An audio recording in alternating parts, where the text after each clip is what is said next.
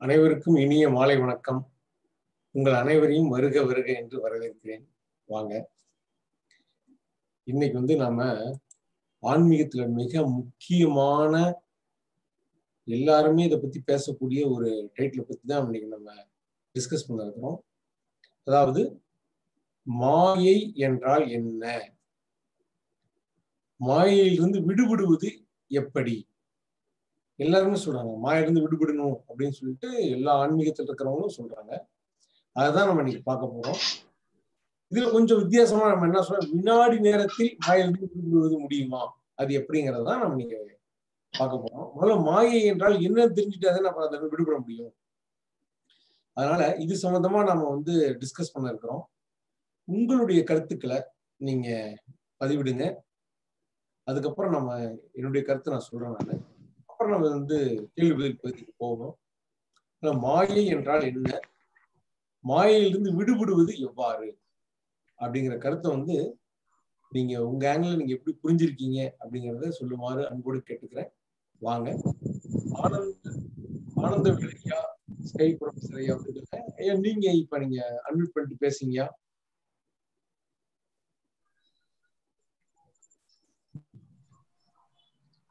ஐயா வணக்கம். வணக்கம் ஐயா. வணக்கம் ஐயா வணக்கம்.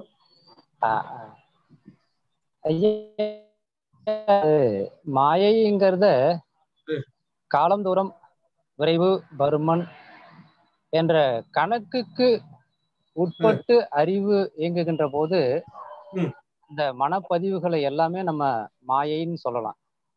அதாவது அளந்தறியக்கூடிய எல்லாமே மாயை. அளந்தறியக்கூடிய முடியாதவை எல்லாமே வந்து உண்மை பொருள் அப்படின்னு நம்ம எடுத்துக்கலாம்.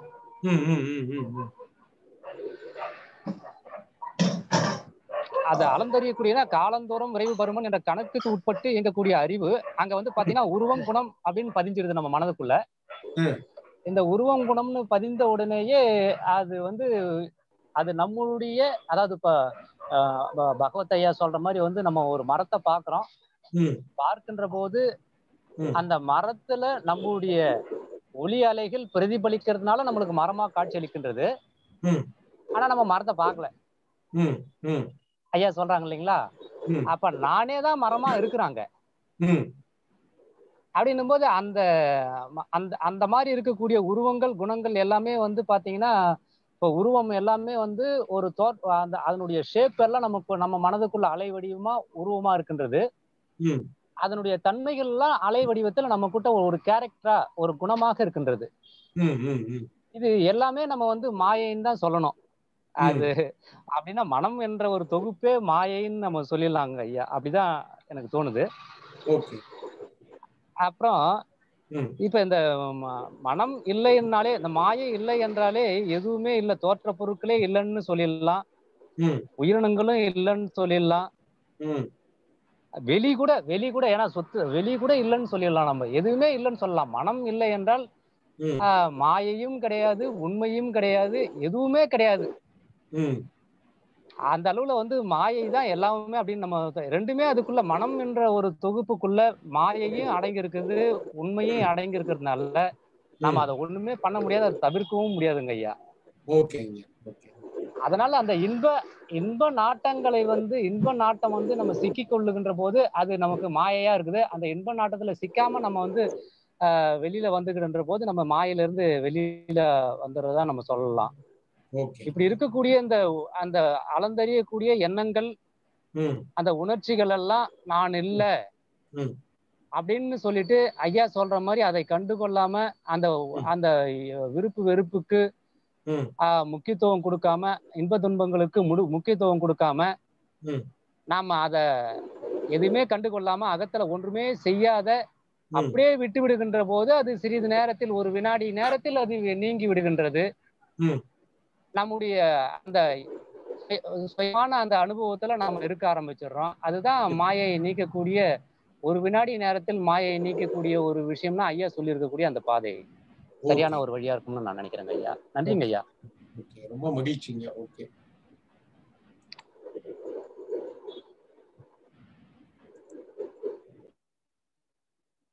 ஆர் லக்ஷ்மண் ஐயா வந்திருக்காங்க. ஐயா வாங்க. நான் அட்மிட் பண்ணிருக்கேன். நீங்களும் அட்மிட் பண்ணிட்டு பேசுங்கய்யா அஹ் ஐயா வணக்கம். வணக்கம் ஐயா. ஐயா ஆஹ் முதல்ல சொன்ன சார் சொன்னதே தான் நானும் சொல்ல வந்தேன். மனம்ங்கிறது தான் மாயை ம். அதை வெல்ல முடியாதுன்னு நம்ம நினைக்கிறது தான் சில நேரத்துல நம்ம. மாயையை வெல்லக்கூடிய தன்மை ஓகேங்க ஓகேங்க. மனதை வெல்ல முடியாது அப்படிங்கிற நம்ம தெரிஞ்சுக்கிறப்போ ஒரு நிமிஷம் இருக்கு பாருங்க. ஆமா. அதுதான் அந்த மாயையை வெல்ல வெல்லக்கூடிய ஓகேங்க. அதுதான் சொல்றேன் சரி ரொம்ப சுருக்கமாவும் தெளிவாகவும் சொல்லிட்டீங்க. ஓகேங்க நன்றி. நான் உங்களை மீட் பண்றேன். பாஸ்கர் ஐயா வாங்க. நீங்களும் அட்மிட் பண்ணிட்டு பேசுங்க ஐயா வணக்கம் ஐயா. வணக்கம் வணக்கம் ஐயா. கேக்குதுங்களா ஐயா? நல்லா கேக்குதுங்க சந்தோஷம் ஐயா. ஐயா மாயை அப்படின்னா எதை மாயன்றனாக்கா. இருக்கிற மாதிரி இருக்கும். ஆனா ம். இல்லாதது ஆனா இருக்கிற மாதிரி தெரியும். அந்த பொருள் இல்ல. ஆனா. இருக்கிற மாதிரி தோற்றமா தெரியும். அது மாயன்றோம். அதே மாதிரி நிலை இல்லாம மாறிக்கொண்டே இருக்கிறது. அதுதான் நம்ம மாயன்னு சொல்றோம். இந்த இந்த மாயையுடைய ரெண்டு தன்மைகளும் நம்மளுடைய உ- மனதிலுடைய உணர்வு நிலைக்கு இருக்குங்க ஐயா.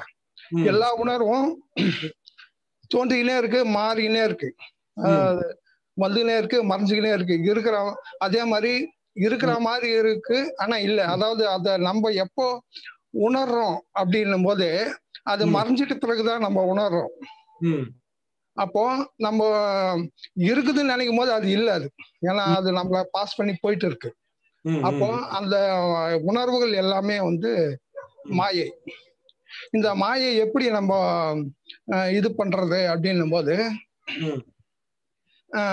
இப்போ கயிறுல கயிறு வந்து பாம்பா நமக்கு தெரியுது. அந்த பாம்பு இல்லைன்னு நமக்கு தெரிஞ்சுட்டா அந்த மா- பாம்பு பத்திய பயம் வந்து அடுத்த நிமிட வினாடியிலேயே நமக்கு அந்த பயம் போயிடுது. அந்த மாதிரி இந்த உணர்வுகள் மாறிக்கொண்டே இருக்கிறது. நம்ம உணரும் போது அது இல்லை அப்படின்னு நாம அஹ், அஹ், நல்ல புரிதல் ஏற்படும் போது அத வந்து அந்த நம்ம மாயை வந்து இது பண்ணிடுறோங்க. மாயை வந்து வென்றுறோம். அதாவது வினாடி நேரத்துல போக்கிடுறோம்.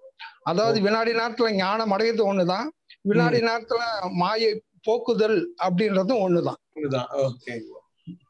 அதனால இந்த மனம் இந்த எப்போ இந்த காணல் நீர் தெரியுது அது இருக்கிற மாதிரி தான் இருக்கும். ஆனா இல்ல. ஆனா அந்த காணல் நீர் நம்ம தெரிஞ்ச பிறகு தாகத்துக்காக அதை நோக்கி நம்ம ஓட மாட்டோம். அந்த ஓட்டம் நின்று போயிடும். தாகத்துக்காக ஓட மாட்டோம். அது மாதிரி மாயை வந்து அது மாயம் தெரிந்த மாத்திரத்திலே நமக்கு ஞானத்துக்கு வந்துடுறோம். முன்னாடி நேரத்துல ஞானத்துக்கு வரோம் முன்னாடி நேரத்துல மாயிலிருந்து விலக விலகிறோம் அதுதாங்க ஐயா. ஓகேங்க. அருமை அருமை. ரொம்ப நல்லா சொன்னீங்க. நன்றிங்க. மணி ஐயா வந்திருக்காங்க. ஐயா வாங்க. நீங்க வணக்கம் சார் வணக்கம். வணக்கம் வணக்கம். சார் இந்த மாயை வந்து எப்படின்னா. தேவையில்லாத போட்டி பொறாம வருது பாத்தீங்களா? நம்ம. கூட படிக்கிறவங்க வேலை கிடைச்சிச்சுன்னா கூட வேலை வேலை செய்யறவங்களுக்கு ப்ரொமோஷன் கிடைச்சிச்சுன்னா தேவையில்லாத பொறாம வருதுங்க. அவங்க ஏதோ ஒரு வகையில புண்ணியம் செஞ்சிருப்பாங்க அவங்களுக்கு நல்ல நல்ல காரியம் நடக்குது. நாமளும் அதுக்காக வெயிட் பண்ணிட்டு நாம நம்மளோட வழியில நம்ம வந்து முயற்சி பண்ணிருந்தா நமக்கும் அது கிடைக்கும். தேவையில்லாம நாம வந்து நம்ம போட்டி வஞ்சம் இந்த உலகத்துல இந்த. மாயை கண்ணை மறைக்குது. இது வந்து ஆன்மீகத்துக்கு வந்து ஈடுபட தடை செய்யுது. மாயைன்னு என்னோட ஒப்பீனியன் சார் இது. ஓகே ஓகே நன்றி. உங்க பதிலுக்கு ரொம்ப ரொம்ப நன்றிங்க. சார் தேங்க்யூ அட்மிட் பண்றீங்க. கம்பராஜன் ஐயா வாங்க. நீங்க அட்மிட் பண்ணிட்டு பேசுங்க. ஐயா வணக்கம் ஐயா. வணக்கம் வணக்கம் ஐயா. வாங்க. ஆஹ் மாயைங்கிறது ம். நிரந்தரம் இல்லாத எல்லாத்தையும் நிரந்தரம்னு நினைக்குது மனசு. ம். அறிவு. அறிவின் மயக்க நிலைதான் மாயம் மாயை. ம். இல்லாத ஒன்றை இருப்பதாகவும் இருப்பது ஒன்று வந்து வேற மாதிரி அது கற்பனை பண்ணி மாத்தி நினைக்கிறது. ஐயா சொன்ன மாதிரி கயரை வந்து பாம்புன்னு நினைக்கிறது. அங்க இருக்கிறது கயறு தான் உண்மையிலே. ஆனா அது வந்து மாயையா நம்மளுக்கு தோற்றத்துல வந்து பாம்பு மாதிரி தெரியுது. அந்த மாதிரி இருக்கிறப்ப அறிவினுடைய மயக்க நிலை இல்லை எதுவுமே நிரந்தரம் இல்லை அப்படிங்கிறத புரிஞ்சுக்கிட்டோம்னா அறிவின் தெளிவு பெறப்ப மாயையில இருந்து வெளியே வந்துடலாம் அறிவினுடைய ஒரு மயக்க நிலை தான் மாயை. அது வந்து அது தெளிவு பெறதுக்கு நம்ம ஐயாவுடைய புரிதல் ஒன்றே போதும். ரெண்டாவது எதுவுமே நம்மளை நம்மளுடைய கட்டுப்பாட்டில் இல்லை அப்படிங்கிறத தெரிஞ்சுக்கிட்டாவே கட்டுப்பாட்டிலையும் இல்லை எதுவும் நிரந்தரமும் இல்லை. ஒன்று. மாறிக்கொண்டே இருக்குது. உலகத்துல ஒவ்வொன்றா மாறிக்கிட்டே இருக்கு. நம்ம உடம்பு வயசாயுது மாறிக்கிட்டே இருக்கு. சூழ்நிலையும் மாறிக்கிட்டே இருக்கு. எல்லாம் அதே மாதிரி எதுவும் நிரந்தரமும் இல்லை. அந்த நிரந்தரமும் நம்ம அதுக்குள்ள சிக்கிக்கிட்டு இருக்கிறது மாயைன்னு நினைக்கிறேன். ஓகேங்க ஓகே. நன்றிங்க. உங்களை நான் மீட் பண்றேன். இன்னும் யாராவது பதில் கொடுக்க விரும்புறீங்களா? மாயை என்றால் என்ன? மாயையிலிருந்து விடுபடுவது எவ்வாறு? எல்லாரும் வந்து மாயிலிருந்து விடுபடணுங்கிறது தான் ஆன்மீகத்துல முக்கியமா பேசப்படுது. ஜெகதீஸ்வரன் ஐயா செய்தார்பேட் ஐயா வாங்க ஐயா நீங்க அட்மிட் பண்ணிட்டு பேசலாம். ஐயா பேசுங்க. ஜெகதீசன் ஐயா?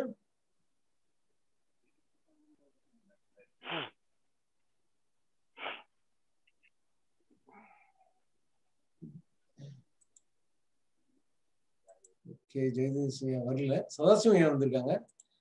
ஐயா உங்களை அட்மிட் பண்ணிருக்கீங்க. நீங்க பேசுங்கய்யா வணக்கம் ஐயா வணக்கம். வணக்கம் ஐயா. வாங்க. நாங்க இயற்கை வேறு நாங்க வேறு அஹ், எண்ணுவதுதான் மாய என்று நான் நினைக்கிறேன். அப்ப இயற்கையும் நாங்களும் ஒன்றாக சேர்ந்து இருக்கிறோம் என்று என்ற நினைத்தவுடன் அது ஒரு கணத்திலேயே அந்த மாயை இல்லாம போகுது. அதுதான் என்னுடைய சுருக்கமான ஓகே ரொம்ப ரத்தின சுருக்கமா சொல்லிட்டீங்க. ஓகேங்க தேங்க்யூ அபு ஃபா- ஃபாசில் ஐயா பேசுங்கய்யா ஆ பேசுங்க. சார் இந்த மாயைங்கிறது இன்னைக்கு இந்த உடல்ல உயிர் இருக்கு. ம். நாளைக்கு இருக்காது. ம். சார் இதுதான் மாயை. ஓ நிரந்தரம் இல்லாததுங்கிறீங்க very good very okay yes ஓகேங்க நன்றி.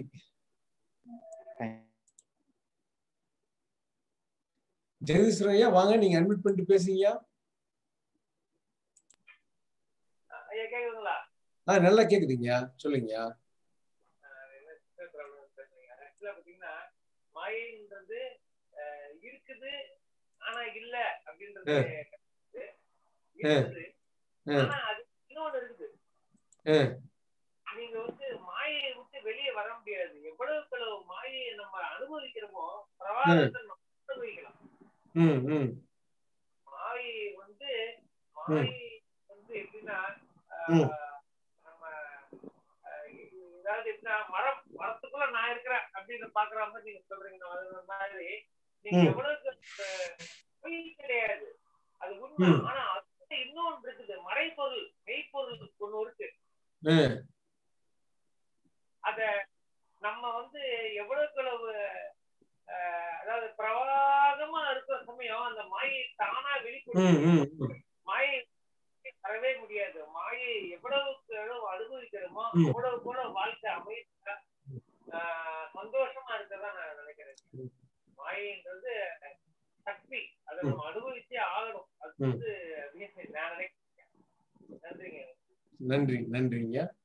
ரொம்ப அழகா சொன்னீங்க. மாயை என்றால் பொய் இல்ல. உண்மை மறைஞ்சிருக்குன்னு சொன்னீங்க. வெரி குட்ங்க ஓகே சுதீஷ் ஐயா வாங்கய்யா நீங்க பேசலாம். அட்மிட் பண்ணிட்டு பேசுங்கய்யா ஐயா வணக்கம். வணக்கம் வணக்கம். வாங்க. நல்லா இருக்கீங்களா? நல்லா இருக்கேன். ரொம்ப நாளா உங்களை காணோம். அது அந்த டைமிங் வந்து கொஞ்சம் எனக்கு வந்து ஆபீஸ்ல இருந்து இறங்குற டைம் அந்த. உங்க அந்த இது ஸ்டார்ட் பண்ற டைம் அதெல்லாம் மிஸ் மேட்ச் ஆயிடுது நீங்க எயிட் ஃபார்ட்டி ஃபைவ் போட்டிருந்தீங்க இல்லையா? கொஞ்சம் ஃப்ரீயா. இருக்கும். அதெல்லாம் இப்போ. ஒர்க் ஃப்ரம் ஹோம்ன்றதால கொஞ்சம் ஃப்ரீயா இருக்கும். ரொம்ப மகிழ்ச்சி. இது அதான் ப்ளஷர் சீக்கிங் ப்ளஷர் ப்ளஷர் தான் மாயன்ற மாதிரி எனக்கு என்னமோ தோணுது. அதுக்கு பின்னாடியே போயிட்டு இருக்கோம் அது கிடைக்குது. திரும்பவும் அது பின்னாடியே போயிட்டு இருக்கோம் அது அந்த டைம் கிடைச்சாலுமே திரும்பவும் அதுக்கப்புறம் அதுக்கு பின்னாடியே போறதுக்கு தான் நமக்கு தோணுதே தவிர அதுல இருந்து வெளியில வர்றதுக்கோ தோண. மாட்டேங்குது. அப்போ அதுதான் அதுக்கு பின்னாடியே ஓடுறதுதான் மாயை மாயைக்கு பின்னாடி ஓடுறதுன்ற தான். எனக்கு தோணுது. ஓகே ஓகே ஐயா. அது உங்களுக்கு தோன்றதுதான் கேட்கறேன் நானு. இன்பத்தின் பின்னாடி போறதுதான் பிரச்சனைங்கிறீங்க. வெரி குட் ஓகே ஓகே நன்றிங்க நான் உங்களை. மனோகரன் சார் வாங்க. நீங்க அட்மிட் பண்ணிட்டு பேசுங்க சார். ஐயா வணக்கம் ஐயா. கேக்குதுங்களா? வணக்கம். நல்லா கேக்குது. பேசுங்க. ஆஹ் மாயை அப்படிங்கிற டாபிக்க பொறுத்த வரைக்கும் இப்ப வந்து ஜென்ரலா நம்ம டேர்ம் சொல்றது வந்து கயிறை வந்து பாம்பான்னு நினைச்சிருக்கோம். சோ அது கயிறு இல்ல. சாரி அது பாம்பு இல்ல. கயிறு தான் அப்படிங்கிறது. இதுல பாத்தீங்கன்னா அந்த கயிறோ இல்ல உண்மையா இருக்கிற பாம்போ வந்து மாயை கிடையாது. அந்த கயிறை பத்தி நம்ம வச்சிருக்கிற ஒரு அபிப்பிராயம்னு சொல்லலாம். சோ மாயை அப்படிங்கிறது எல்லாமே வந்து மனம் சம்பந்தப்பட்டது. எண்ணங்கள் சம்பந்தப்பட்டது. நம்ம இந்த உணர்வுகளும் இந்த எண்ணங்களும் எல்லாமே பாத்தீங்கன்னா கண்டிப்பா பாஸ்டன்ஸ் அதாவது ஏற்கனவே இறந்து போன ஒரு இதை வந்து நம்ம இப்படி இருக்கு இப்படி இருக்குன்னு ஒரு கோட்டை கட்டி வச்சிருக்கோம். சோ இது அகத்தை பொறுத்த வரைக்கும் அது அது அது வச்சிருக்கிற கோட்டைகள் எல்லாமே மாயை தான் அப்படிங்கிறது தான் வந்து என்னுடைய கருத்துங்கய்யா ஓகே ஓகே. ஓகேங்க ரொம்ப நன்றி. பண்றேங்க.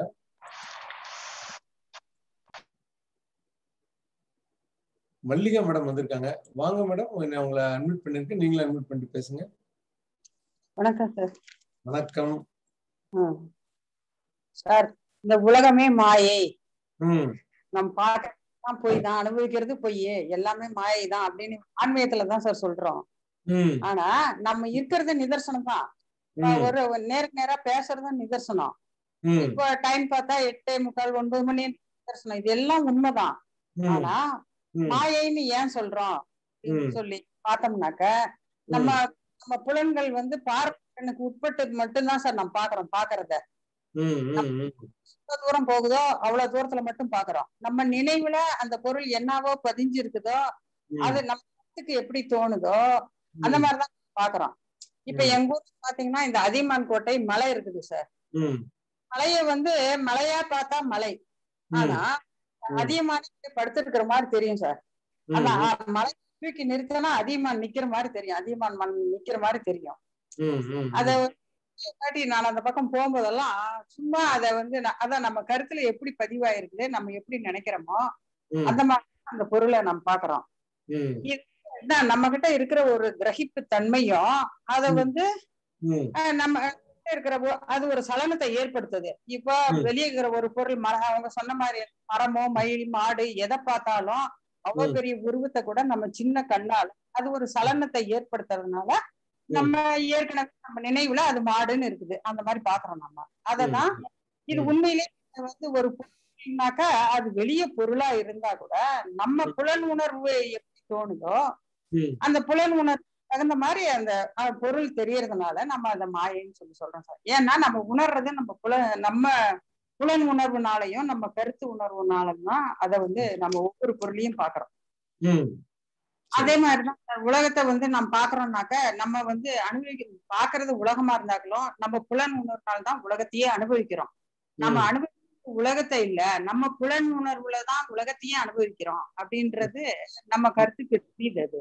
அதனாலதான் மே மாயை அப்படின்னு சொல்லி சொல்றோம் நம்ம உணர்வையே நம்ம அனுபவிச்சுக்கிறோம் சார். அதனாலதான் நாமளே நம்ம நாம வேற உலகம் வேற இல்ல. நம்ம உணர்வு தான். உணர்வுக்குள்ள உலகம் இருக்குது.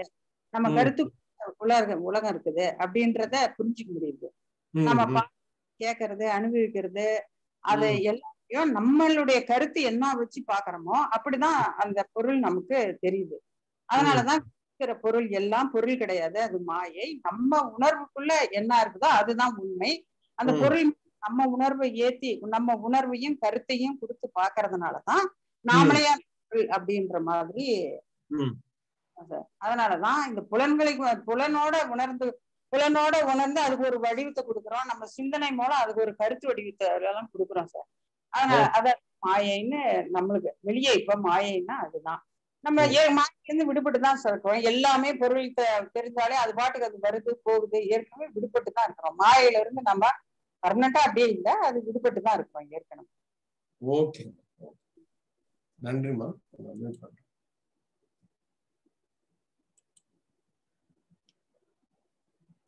இப்போ மாய் மதியழகன் சார் வந்திருக்காங்க பிரான்ஸ் ஐயா வாங்க நீங்க அட்மிட் பண்ணிட்டு நீங்க பேசலாம் ஐயா.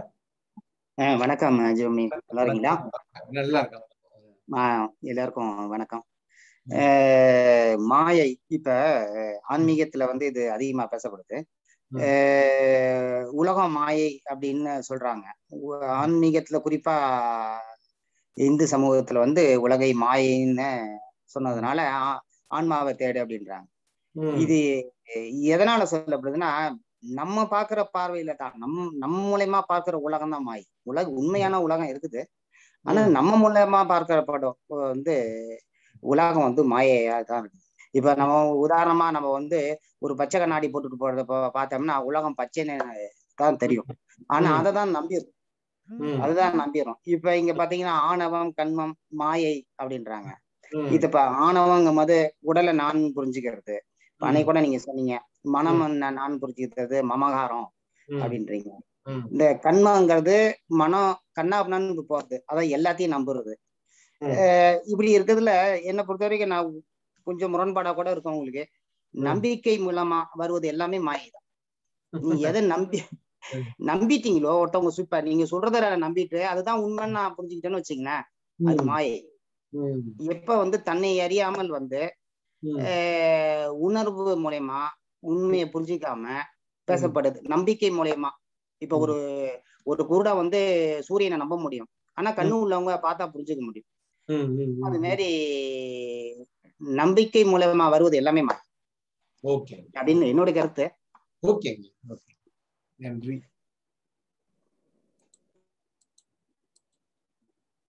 ராம்குமார் கல்யாணி. ஐயா வாங்க ஐயா. நீங்க அட்மிட் பண்ணிட்டு பேசுங்கய்யா. ஐயா வணக்கம். வணக்கம் வணக்கம். வாங்க. ஐயா மாய் என்பது பாத்தீங்கன்னா இப்போ இப்போ வள்ளுவர் வந்து ஒரு குரல்ல குறிப்பிடுறாங்க பொருள் உள்ளவற்றை பொருள் என்று உணரும் மரலான மரலானாம் மானாப்பரப்புன்னு வள்ளுவர் சொல்றாரு. அதாவது மூலம் காரணம் காரியம் என்று மூணா வகுத்திருக்கிறாங்க நம்ம யோக சாஸ்திரங்கள்ல அதாவது ஒரு காரியம் நடக்குது. அந்த காரியத்துக்கு ஒரு காரணம் இருக்கு. இப்போ மரம் அசையுது அப்படின்னா காற்று அசைவதால் மரம் அசையுது. அப்ப காற்றை அசைப்பது எது? அப்படின்னா காற்றை அசைக்கக்கூடிய ஒரு மூலமான ஒரு பொருள் உண்டு. அது மெய்ப்பொருள் என்று நம்ம வள்ளுவர் குறிப்பிடுறாரு. அந்த மெய்ப்பொருள்ல இருந்து மெய்ப்பொருள் தான் மூலமா இருக்கு. மெய்ப்பொருளுக்கு கீழே காரிய காரணமா இருப்பது எல்லாமே மாயை. அந்த காரணமே இந்த எல்லா காரியங்களையும் நடத்திட்டு இருக்கு அப்படிங்கிறத வள்ளுவர் வந்து மெய்ப்பொருள் உணர்தல் அப்படிங்கிற ஒரு அதிகாரத்துல சொல்லிக்கிறாரு. அத இந்த தான் இருக்குது. மொத்தமா பிரபஞ்சத்தை மூணா பிரிச்சிடலாம். மூலம் காரணம் காரியம். ஒரு காரியம் நடக்குது. அந்த காரியத்துக்கு ஒரு காரணம் இருக்குது. இப்ப மர மரம் இருக்குது மரம் அசையுது. மரத்தை அசைக்கிறது காற்று. அப்ப காற்றை அசைப்பது எது? அப்படின்னா மெய்ப்பொருள் இந்த மூணாவது அழுத்து வச்சிருக்காங்க ஐயா. அந்த இடை- இடையில இருக்கிற அந்த காரணமா இருக்கிற பொருள் எதுவோ அதுவே மாயை வணக்கம் ஐயா வணக்கம். வணக்கம் ஐயா. நன்றி. ஜெகதீஸ்வரன் சேதாப்பேட் ஐயா வாங்க நீங்க அட்மிட் பண்ணிட்டு பேசுங்க.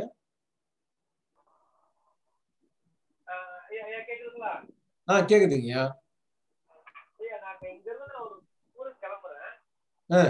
கொஞ்சம் சவுண்டா பேசுங்க. நான் இப்ப இங்க இருந்து ஊருக்கு கிளம்புறேன். ஒரு என் கண் பார்வைக்கு ஒரு இருநூறு மீட்டர் முந்நூறு மீட்டர் தான் தெரியும் ம் அடுத்து நான் அந்த முந்நூறு மீட்டர் போனாதான் அடுத்த ஒரு இருநூறு மீட்டர் முந்நூறு மீட்டர் எனக்கு காட்டப்படும். அதை எக்ஸ்ப்ளோர் பண்ணி எக்ஸ்ப்ளோர் பண்ணி போற சமயம் தான் நான் இலக்கு அடைய முடியும். ஒரு ஒரு ஒரு ஒரு அந்த உண்மை அதாவது மெய்ப்பொருள் சொன்னாங்க பாத்தீங்களா அந்த வார்த்தை. அழகா உடச்சி ம். உடச்சி உள்ள இன்னும் எல்லைகள் இருக்கு. அது. போயிட்டே இருக்க இருக்க. வாயை வந்து நம்ம ரொம்ப அனுபவிக்கலாங்க. காட்டப்படுறது வந்து உண்மை கிடையாது. அது உண்மைதான் அது. இல்லைங்க உண்மைதான் அது. பொய் கிடையாது. உண்மைதான். பட் அது. உள்ள இன்னொரு உண்மை இருக்கு. நம்ம. உள்ள போக போக போக ரொம்ப நல்லா இருக்குங்க. அதான் மாயை சரி சரிங்க ஓகேங்க நன்றிங்க. உங்களை நான் மீட் பண்றேன்.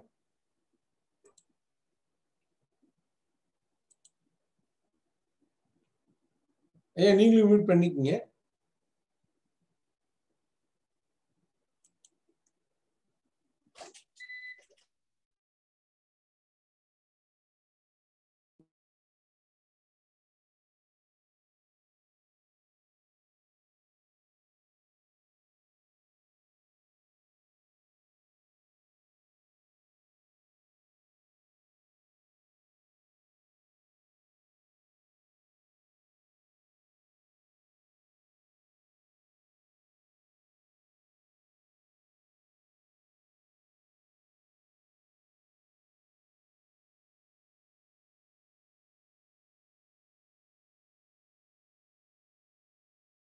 ஹலோ எதுவும் கேட்கலையே எதுவுமே கேட்கல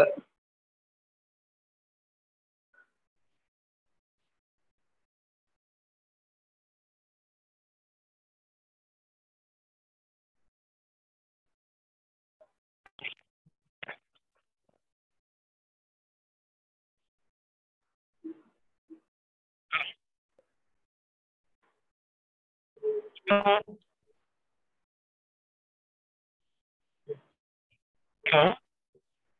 ஐயா எதுவுமே கேட்கல எதுவுமே கேட்கல ஒரே நிமிஷம் கொஞ்சம் நெட் ப்ராப்ளம் ஆகி கொஞ்சம் டவர் கட் ஆயிடுச்சு. ஒரு நிமிஷம்.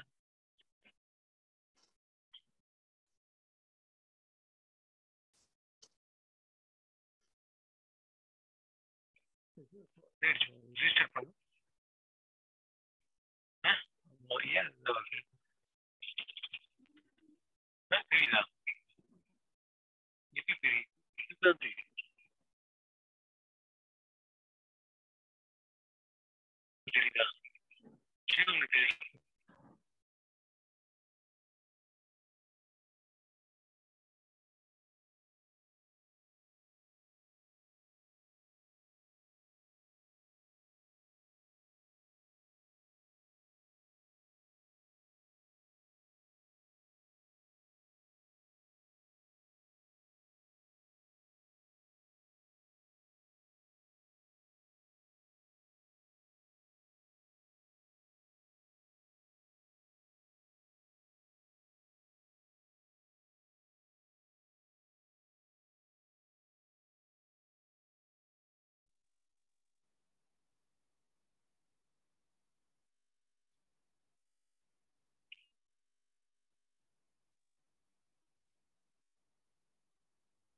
கேக்குதுங்களா? ஆடியோ?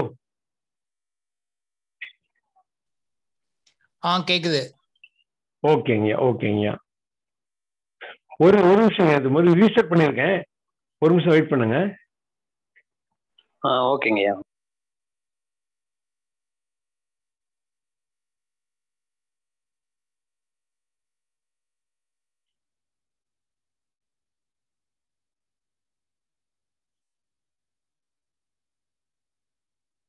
ம், வந்துருச்சு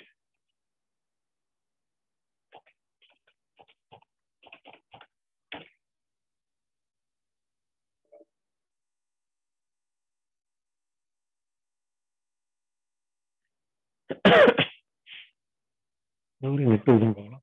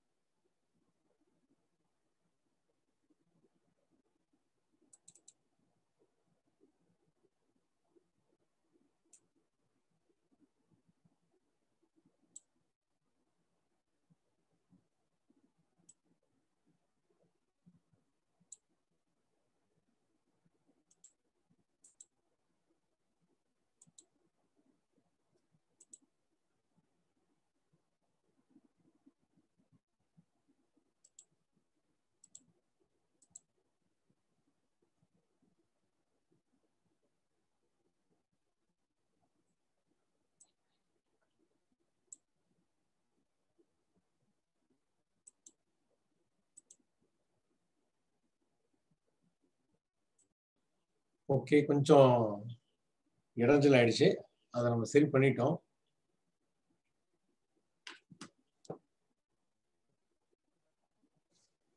நம்ம சப்ஜெக்ட்டுக்கு வருவோம் நாம. நம்ம வந்து மாயை என்றால் என்ன? வினாடி நேரத்தில் மாயையிலிருந்து விடுபடுவது எப்படி? அப்படிங்கிற டாபிக்ல நம்ம இன்னைக்கு பேசிட்டு இருந்தோம். மாயை என்றால் என்ன? ஆன்மீகத்துல பாத்தீங்கன்னா மாயையிலிருந்து விடுபட்டு மெய்ப்பொருளை அடையணும் அப்படின்னு சொல்லுவாங்க. அதுக்காக தான் எல்லா பயிற்சி முயற்சிகளும் வந்து கொடுத்துட்டு இருக்காங்க. எல்லா தத்துவங்களும் அது அதுக்காக தான் கொடுக்கப்பட்டிருக்கு. சாஸ்திரங்கள்லயும் பாத்தீங்கன்னா மாயை பத்தி சொல்லியிருக்காங்க. இப்ப எந்த அளவுக்கு வந்து இந்த மாயை வந்து முக்கியத்துவம் வாய்ந்தது அப்படின்னு பார்த்தோம்னா உண்மை எந்த அளவுக்கு முக்கியத்துவம் வாய்ந்ததோ அந்த அளவிற்கு மாயையும் முக்கியத்துவம் வாய்ந்ததா தான் இருக்கு. இப்ப மாயை என்றால் என்ன அப்படின்னு நான் பார்ப்போம். மாயை பத்தி நம்ம சொல்றோம். மாயை என்றால் என்னன்னு தெரிஞ்சாலே நம்ம இருந்து எப்படி விடுபடுறதுன்னு பார்க்க முடியும். மாயை என்றால் என்னன்னு பார்ப்போம். மாயைன்னா பொய் அப்படின்னு சில பேர் நினைச்சிட்டு இருக்காங்க. அப்படி கிடையாது. மாயை என்பது பொய் அல்ல. உண்மையே வேறு விதமாக பார்ப்பதுதான் வந்து மாயை. எப்படி வேறு விதமா பார்க்கறது அப்படின்னு பாத்தீங்கன்னா இப்ப நாம நாம நாம நாம ரெண்டு பேர் நம்ம வந்து போயிட்டு இருக்கோம். எதிர்ப்புற ஒரு மாவு மரத்தை பாக்குறோம்னு வச்சுங்களேன். இப்ப அதுல வந்து பாத்தீங்கன்னா அந்த மரம் நம்ம கண்ணுக்கு தெரியுது. இப்ப ரெண்டு பேத்துக்குமே அது மாமரம்னு தெரியுது. அடுத்ததான் மறுபடியும் போறோம். அங்க வந்து இருக்கிற ஒரு நண்பர் வரார். உங்க நண்பர் வராரு. நீங்க அவரை பார்த்தோன்னே உங்களுக்கு மகிழ்ச்சி ஏற்படுது. எனக்கு அவரு வேண்டாதவர்னு வச்சுக்கோங்க. எனக்கு அவர் பார்த்தோன்னே ஒரு வெறுப்பு ஏற்படுது. இப்ப என்னன்னா வரக்கூடிய நபர் ஒருவர் தான் அவர் வந்து உங்களுக்கு நண்பராகவும் மகிழ்ச்சியை கொடுக்கிறாரு. எனக்கு வேண்டாதவரா இருந்து வெறுப்பை கொடுக்குறாரு. ஆனா மரத்தை பார்க்கிறோம். ரெண்டு பேருக்குமே இது மாமரமா தான் தெரியுது. ஆனா நம்ம இதில் இருக்கக்கூடிய அந்த நபரை பார்த்த உடனே ஒரே நபர் தான் உங்களுக்கு வந்து நண்பரா மகிழ்ச்சியை கொடுக்குறாரு. எனக்கு வேண்டாதவரா வெறுப்பு கொடுக்குறாரு. இங்க இது என்ன ஆகுது? ஒரே ஒருவர் ரெண்டு பேருக்கு ரெண்டு விதமான தன்மையில நமக்கு தெரிகிறார் அப்படின்னா இதுதான் மாயை. அது மாயைனா உங்களை பொறுத்தவரை அது உண்மை என்னை பொறுத்தவரை இது உண்மை அவ்வளவுதான். அதாவது நம்ம ஒரு சப்தத்தை கேட்கறோம்னு வச்சுக்கோங்க. அந்த சப்தம் வந்து வெளியிருந்து ஒரு சப்தம் வருது. அது நம்முடைய செவிப்பறையில எப்படி எதிரொலிக்கிறதோ அப்படிதான் நம்மளால உணர முடியும். காது கேட்கும் திறனை பொறுத்துதான் அது அமையுது. ஒவ்வொருத்தருக்கும் அது மாறுபடும். ச- சப்தத்தை வச்சு அப்படி வச்சு வச்சுக்கலாம் நம்ம. இன்னொன்னு உணவு ஒரு உணவு எடுத்துக்கிறோம். ஒரு உணவை சுவைக்கிறோம். நல்ல சுவையா இருக்கு. இப்ப வந்து ஜுரம் வந்துருச்சுன்னு வச்சுக்கோங்க. அதே உணவை நம்ம சுவைக்கும் சுவைக்கும் போது என்ன ஆகுதுன்னு கேட்டீங்கன்னா அது நல்ல சுவையா இல்லை. ஏன்? ஏன் அந்த சுவையில இப்படி ஒரு மாற்றம் ஏற்படுது? அதே உணவு தான் ஜுரம் இல்லாதப்ப அதனுடைய சுவை ரொம்ப நல்லா இருந்தது. இப்போ நமக்கு ஒரு காய்ச்சல் அடிக்குது சு- ஜுரமா இருக்கிறோம். இப்போ வந்து அதனுடைய சுவையில வந்து மாற்றம் ஏற்பட்டிருக்கு.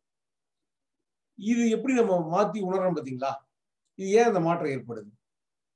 அடுத்தது பார்த்தீங்கன்னா கோடை காலம் இப்போ நல்லா நமக்கு நல்லா வேக்குது நம்ம பக்கத்துல ஒருத்தர் வந்து ரொம்ப ஜுரம் அடிச்சுட்டு உட்காந்துட்டு இருக்காரு.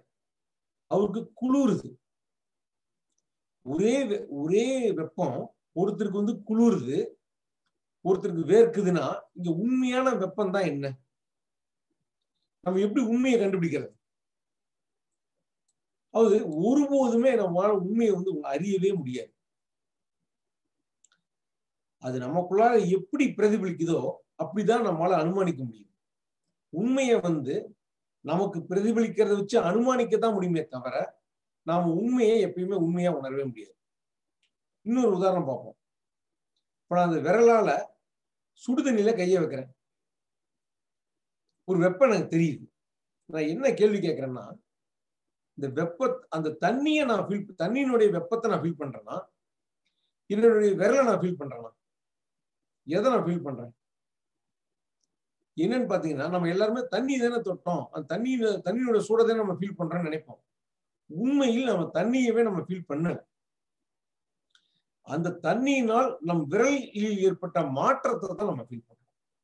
நம்ம அணு நம்முடைய நம்முடைய ஃபீலிங் வந்து இந்த விரலை தான் அணு நம்ம வந்து உணர்றோம் அது மாதிரி நம்ம எல்லாமே நம்முடைய புலன்கள்ல என்ன மாற்றத்தை ஏற்படுத்துதோ அதை தான் நம்ம அனுமானத்தால உண்மையை உணர்றமே தவிர நேரடியாக நம்ம உண்மையை உணர்றதே கிடையாது. இப்படி அனுமானத்தால உணரக்கூடியதுதான் நம்ம மாயை அப்படின்னு நம்ம சொல்றோம். இந்த மாயை இல்லாம நம்மளால இந்த உலகத்துல எந்த அனுபவமும் நம்ம ஏற்படுமா பாருங்க. இப்போ உடல் சார்ந்த அனு அனுபவங்கள் அனைத்தும் இப்படிதான் நம்ம அனுமானிக்கப்படுது நம்மளால அதே மாதிரிதான் நமக்கு வந்து மனம் சார்ந்த இது எப்படி நம்ம மாறுது?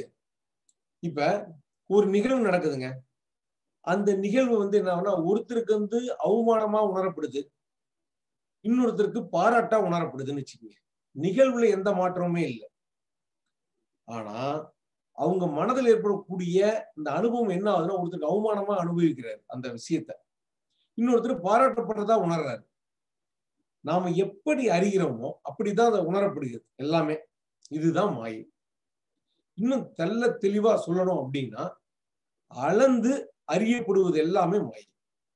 அதாவது மனதால மனதாலோ உடலாலோ மெஷர் பண்ணி அறியப்படுவது எல்லாமே மாயை தான் ஒப்பிட்டு உணர்வதெல்லாம் மாயை நம்ம ஒப்பிட்டு தான் எல்லாத்தையும் உணரணும். நம்ம எப்பயுமே உண்மையை வந்து நேரடியா உணர்றதே கிடையாது. இப்ப பாருங்க நம்ம வந்து ஒரு ஸ்வீட் ஒன்று சாப்பிட்றோம். நல்ல இனிப்பா இருக்கு. சாப்பிட்டுட்டு உடனே ஒரு காஃபி குடிக்கிறோம்னு வச்சுங்க அதுல சர்க்கரை நிறைய போட்டிருக்காங்க. சர்க்கரையே இல்லாத மாதிரி தெரியுது. ஏன் அப்படி தெரியுது நமக்கு?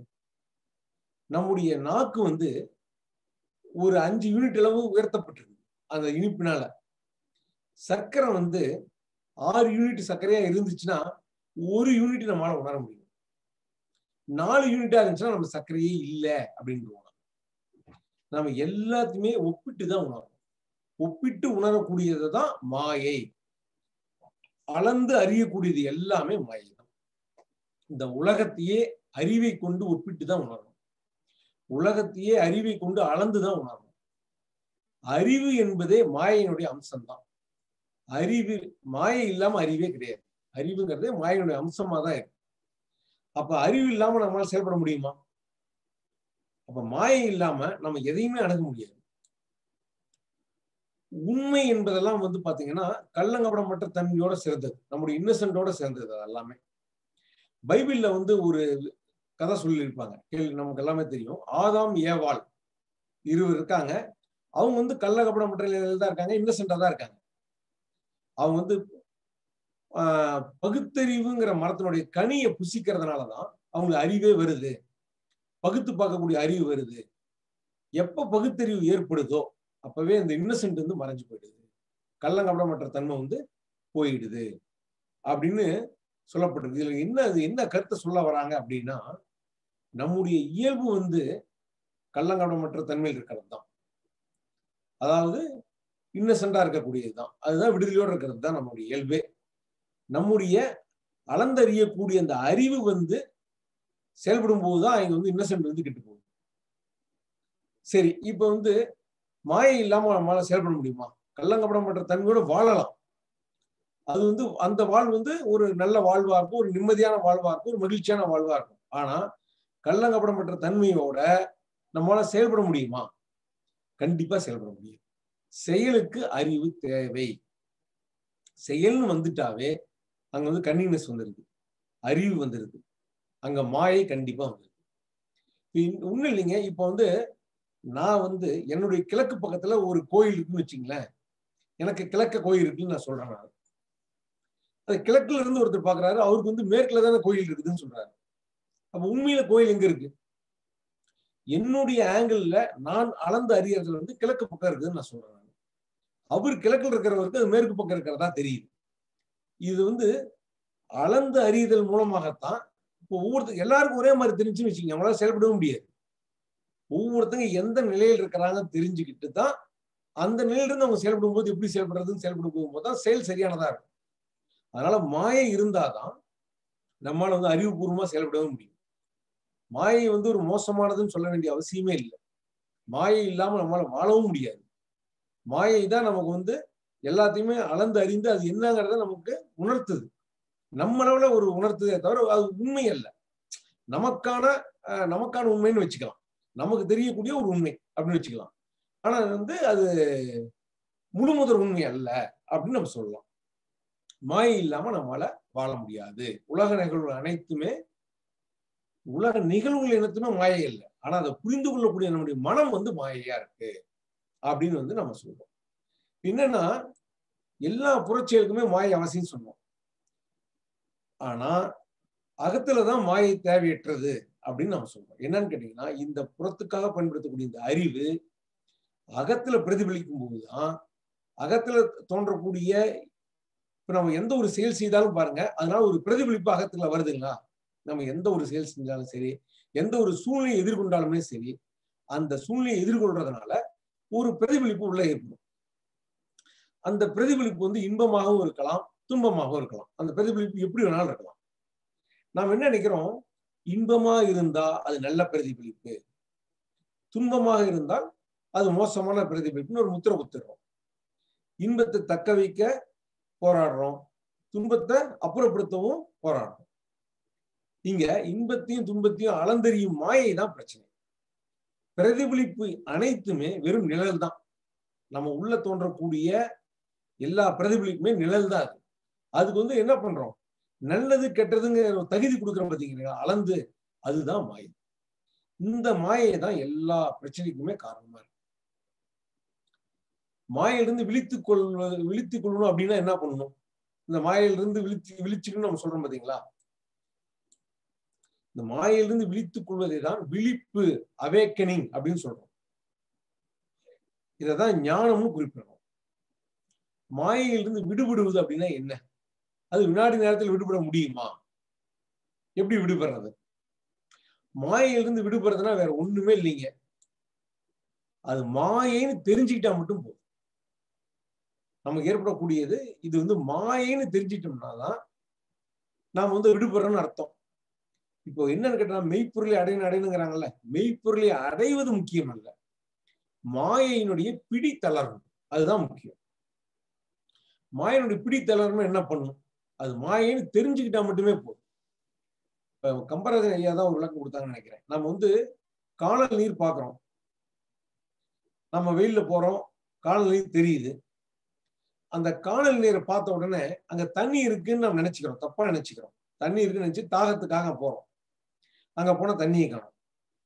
அப்பதான் தெரியுது இது வந்து ஒரு நம்ம நமக்கு நம்முடைய பார்வைக்கு அப்படி பிரதிபலிச்சிருக்கு. அங்க தண்ணி இல்ல. இது ஒரு காணல் நீர் நம்ம புரிஞ்சுக்கிறோம். இப்போ இது மாயைன்னு நம்ம புரிஞ்சுக்கிட்டோம். இப்ப இன்னொரு நாள் போறோம். இப்ப மாயைன்னு புரிஞ்சுக்கிட்டதுனால அது இல்லாம போயிடுமா? அன்னைக்கும் அது தெரியும். என்னைக்கு போனாலுமே வெட்ட அது அதாவது இப்ப சரியான வெயில் நேரத்துல அந்த இடத்துல என்ன தண்ணி இருக்கிற மாதிரி ஒரு ஒரு மாயை தெரியுது. அது காணல் இருந்து நம்ம தெரிஞ்சுக்கிச்சு நமக்கு. தெரிஞ்சதுனால இல்லாம போகாது. நம்ம என்ன பண்ண மாட்டோம்? அதை தேடி போக மாட்டோம். அது மாயைன்னு தெரிஞ்சுக்கிட்டா மட்டுமே போதும். நம்ம அது விடுபட்டுறதுக்கான சமமாயிடுது அப்படிதான் அகத்தை பொறுத்த வரலும் நமக்கு ஏற்படக்கூடிய எல்லா அனுபவங்களுமே ஒரு மாயை தான் இன்ப மாயிலும் சரி துன்ப மாயிலும் சரி நமக்கு அங்க எந்த வேலையுமே இல்லைன்னு எப் எந்த கணத்தில் நம்ம புரிஞ்சுக்கிறோமோ அந்த வினாடியே அந்த மாயிலிருந்து விடுபடுறோம். அகத்தளவில் மாயிலிருந்து விடுபட்டா மட்டும்தான் நம்ம கள்ளங்கப்படப்பட்ட தன்மை வந்து அப்படியே இருக்கு. அப்படி கள்ளங்கப்படமற்ற தன்மையில தான் நாம வந்து நிறைவாகவும் ஒரு நிம்மதியாகவும் நம்மளால வாழ முடியும். அதே இந்த மாயை தான் புறத்துல செயலுக்கு உதவியாகவும் இருக்கு. நம்மளை சார்ந்த வேலைகளை நம்முடைய மாயை கொண்டுதான் நம்ம செயல்பட்டோம். அதனால புற செயலுக்கு மாயை அவசியம். அகத்துல மாயை தான் பிரச்சனை. இப்ப உலக புற உலகத்தை பொறுத்தவரையிலும் மாயை வந்து கண்டிப்பா வேணும்னு சொல்லிட்டோம். அகத்தை பொறுத்தவரையிலும் இந்த நான்கிறது வந்து தனி வடிவெடுக்க கூடாது அதுதான். இந்த வடிவெடுக்கிறது தான் மாயை. நம்ம வடிவெடுக்கிறதுல என்ன சொல்றோம் நான் இப்படிப்பட்டவன். நான் இந்த கொள்கையில் உடையவன். நான் வந்து எப்பயுமே மகிழ்ச்சியா இருக்கணும். நான் எப்பயுமே துன்பம் இல்லாம இருக்கணும். அப்படின்னு அகத்தளவுல நமக்கான ஒரு வடிவத்தை கொடுக்குறோம் பாத்தீங்களா? அதுதான் எல்லா பிரச்சனைக்குமே காரணம். அகத்தளவுல எதுவுமே நமக்கு வேலை இல்லை.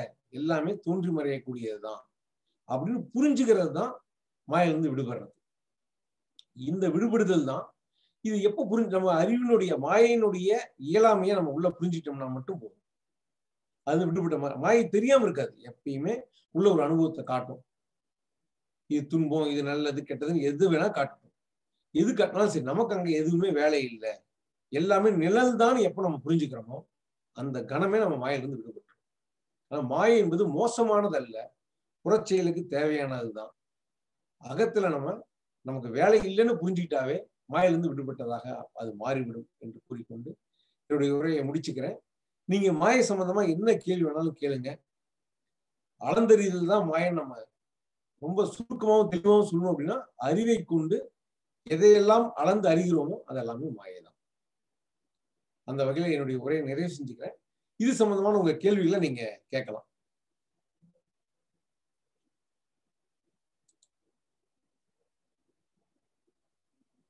கேள்வி கேட்க விரும்புறவங்க ஆன்சரிஸ் ஆப்ஷன் யூஸ் பண்ணுங்க. வணக்கம். ஐயா வணக்கம். வாங்க ஐயா. அதாவது இப்போ இப்போ அகத்துல பிரதிபலிக்க கூடாதுன்றீங்க. அகத்துக்கு அது இப்ப சப்போஸ் ஒரு எக்ஸாம்பிள் நான் சொல்றேன். நான் ஒரு. மீட்டிங் போறேன். ஒரு கிளாஸ் எடுக்கிறேன். அப்போ அதுல எனக்கு வந்து ஒரு ப்ளஷர் கிடைக்குது சுகம் கிடைக்குது. எந்த ஒரு காரியம் செஞ்சாலும் அதுல ஒரு சுகம் கிடைக்குது அந்த சுகத்துக்கு பின்னாடி தான் நம்ம போயிட்டு இருக்கோம் இல்லைங்களா சுகம் கிடைக்கலன்னா. போக போறது இல்ல இது வந்து எக்ஸ்டர்னல் எக்ஸ்டர்னல்ல சுகம் இல்லாம நம்ம எந்த ஒரு காரியமும் செய்ய போறது இல்ல அப்போ அந்த அந்த சுகம் கிடைக்கணுன்றதுதான் மாயா இல்லைங்களா? இல்லைங்க நீங்க என்னன்னா மாயை தான் நம்ம உங்களுக்கு வந்து இந்த இந்த இது நடந்துடா இது வந்து இந்த பயிற்சி பண்றது நல்லது. இந்த இத அந்த ஒரு கிளாஸ் நடத்துறது நல்லதுன்னு உங்களுக்கு தோணுது. அது ஒரு அளந்து அறியறீங்க அதை? இல்ல இல்ல. இப்ப நான் ஒரு கிளாஸ் எடுக்க போகும்போது அந்த எடுக்கணும்னு நான் ஒரு ஒரு அதாவது எனக்கு எனக்கு வந்து அது அது ஒரு சுகம் கிடைச்சாதானே அந்த கிளாஸ் எடுப்பேன் நான். ஆமா பண்ண போறனால அதுல எனக்கு ஒரு சுகம் கிடைக்கும் போது நான் பண்ண போறேன். சரி. உள்ளுக்குள்ள ஒரு ப்ளஷர் கிடைச்சாதான் அது நான் பண்ணுவேன். அதுல. எனக்கு நல்ல பேர் கிடைக்கும். நல்ல ஆளுங்க வந்து என்ன என்ன ஒரு ப்ளஷர் ஒரு மனசுல ஒரு சுகம் கிடைக்கும் போது நம்ம அதை பண்றோம் ஆமா இப்ப அதுக்கு தான் இப்ப நான் நான் தனியா ஒரு பிராக்டிஸ் பண்றேன் அதை கிளாஸ் எடுக்கணும்ன்றது வேண்டி நான் தனியா பிராக்டிஸ் பண்றதுனாலும். அவங்க கொடுக்கிற அந்த ரெஸ்பான்ஸ் எனக்கு. சுகமா இருக்குன்றதுனால இல்ல எனக்கு ஃபைனான்சியலி பைசா கிடைச்சாலுமே அதுலயும் எனக்கு சுகமா இருக்குன்றதுனால பண்றோம் அப்ப. அதெல்லாம் அந்த ஒரு சுகம் அந்த ஒரு பிளஷர் இல்லைன்னா நம்ம பண்ண போறது இல்ல. ம். அப்போ அந்த அந்த அந்த பிளஷர் வச்சுதான் அந்த உலகமே சுத்துது இல்லைங்களா? கண்டிப்பா. இன்ப நாட்டத்தினால அந்த உலகமே இயங்குது. ஆஹ் உலகமே இயங்குது. அது அது அது அது அததானே மாயன்னு சொல்றோமா? இல்ல எப்படின்னு எனக்கு புரியல. அது அததானே மாயை சொல்றேன். தான். ஆனா அததான் அது தவறு எதுவும் இல்லைங்கிறேன் அது தவறு எதுவும் இல்ல. இல்ல. வந்து உள்ளத்துல அகத்துல பிரதிபலிக்க கூடாதுன்றீங்க. அகம். போகும்போது அது எப்படி டிஃபரன்ஷியேட் பண்றதுதான் கேக்குறேன். ஒரு நிமிஷம். நீங்க வந்து இந்த கிளாஸ் நடத்தினா ஒரு இன்பம் கிடைக்கும். நமக்கு ஒரு பாராட்டுவாங்கன்னு நீங்க நினைச்சு பண்றீங்கல்ல. ஆனா அந்த கிளாஸ்னுடைய நடத்துறதனுடைய விளைவாக இன்பம் தான் நட எதிர் வரும் நம்ம எதிர்பார்க்க முடியாது. எது வேணாலும் வரலாம். அகத்துல வரக்கூடிய உணர்வு நமக்கு கட்டுப்பட்டது இல்ல ஆனா இன்ப நாட்டத்தின் மூலமா தான் செய்யறோம். அதுல எதுவும் மாற்று கருத்து இல்ல. இன்ப நாட்டம் தான் நம்மளை செயல்பட வைக்குது. இந்த வாழ்க்கைக்கு இன்ப நாட்டம் தான் ஒரு ஒரு தூண்டுகோலா இருந்துட்டு இருக்கு. ஆனா இன்பம் தான் வரும்னு எதிர்பார்த்து பண்ணீங்கன்னா இன்பம் தான் வரும்ங்கிற கட்டாயமும் கிடையாது. கட்டாயம் கிடையாது. ஓகே கட்டாயம் கிடையாது. எது வேணாலும் வரலாம். ஆனா அது எதிர்பார்த்தா நம்ம அதை நோக்கி தான் போறோம். அந்த. இருக்கு. இன்பம். கிடைக்கும்ன்ற ஒரு நோக்கத்துல தான் போறோம். ஆமா. ஆனா வந்து விளைவாக என்ன வேணாலும் வரலாம். இதுதான் நம்ம சொல்ல முடியாது விளைவு என்ன வேணா வரலாம். யாராவது. எதிர்த்து பேசலாம். சரியில்லைன்னு சொல்லலாம். இல்லைங்க ஒரு ஒரு ஆன்மீக அமைப்புக்கே வந்து முத தடவை போகும்போது ரொம்ப ஆனந்தமா இருக்கு. அமைதியா இருக்கு. மனசுக்கு ரொம்ப ரம்மியமாவும் ரொம்ப நல்லா அமைதியா இருந்துச்சுன்னு வச்சுங்களேன். அடுத்த தடவை அதே அமைதி வேணும்னு நினைச்சாங்க போனா அது வரும்னு சொல்ல முடியாது. அது வெளியில செய்யக்கூடிய காரியத்தை நீங்க செய்யுங்க. ஆனா அதுவே வந்து எதிர்பார்க்கறதா அங்க தப்பா போயிடுது. இல்ல இப்ப நான் என்னன்னா அது எதிர்பார்க்காம நான் போவே முடியாது இல்லைங்களா அந்த ஒர்க்குக்கு இல்ல இல்ல நீங்க எதிர்பாருங்க. ஆனா அது விளைவு தான் வரும்னு உறுதியா சொல்ல முடியாது. ஆஹ் அது தெரியும். ம் ம். தான் வரும்ன்றது நமக்கு சொல்ல முடியாது. ஆனா அந்த அந்த அப்படி இருந்தாலும் அந்த பிளஷரோட பின்னாடி தான் போறோம். அந்த அந்த அந்த இதுவும் கிடைக்கணுன்றதுக்காக தான் ஒர்க் பண்ணிட்டு இருக்கோம். எது. பண்ணாலுமே அது அது அதை பேஸ் பண்ணி தான் பண்ணிட்டு இருக்கோம். ஆமா ஆமா. அப்போ உள்ளுக்குள்ள அஃபெக்ட் ஆக்கக்கூடாது. உள்ளுக்குள்ள நம்ம வந்து பண்ணக்கூடாதுன்னா உள் இல்ல, நான் சொல்றது உள்ளுக்குள்ள அஃபெக்ட் ஆகக்கூடாதுன்னு சொல்லல. உள்ளுக்குள்ள நீங்க நிர்வாகம் பண்ணக்கூடாது. அது என்ன வந்தாலும் இருக்கட்டும். ஆமா நீங்க வந்த விட்டு நீங்க வந்து வந்த விட்டு தான் உங்களுக்கு என்ன வந்துருக்குதுன்னே தெரியும். இல்ல இது வந்திருக்க கூடாது இதை நான் மாத்துவேங்கிற முயற்சி தான் அங்க வந்து நமக்கு பிரச்சனையை கொண்டு வருது. உள்ளுக்குள்ள நீங்க வந்து இது போனா மகிழ்ச்சின்னு நினைச்சுதான் போறீங்க. ஓகே போயிட்டு வாங்க. ஆனா அதனால விளைவு மாறி வந்தா கூட இல்ல இதை மாத்த போறேன் அப்படிங்கிற முயற்சி உள்ள வந்து நம்ம எதையுமே நிர்வாகம் பண்ணக்கூடாது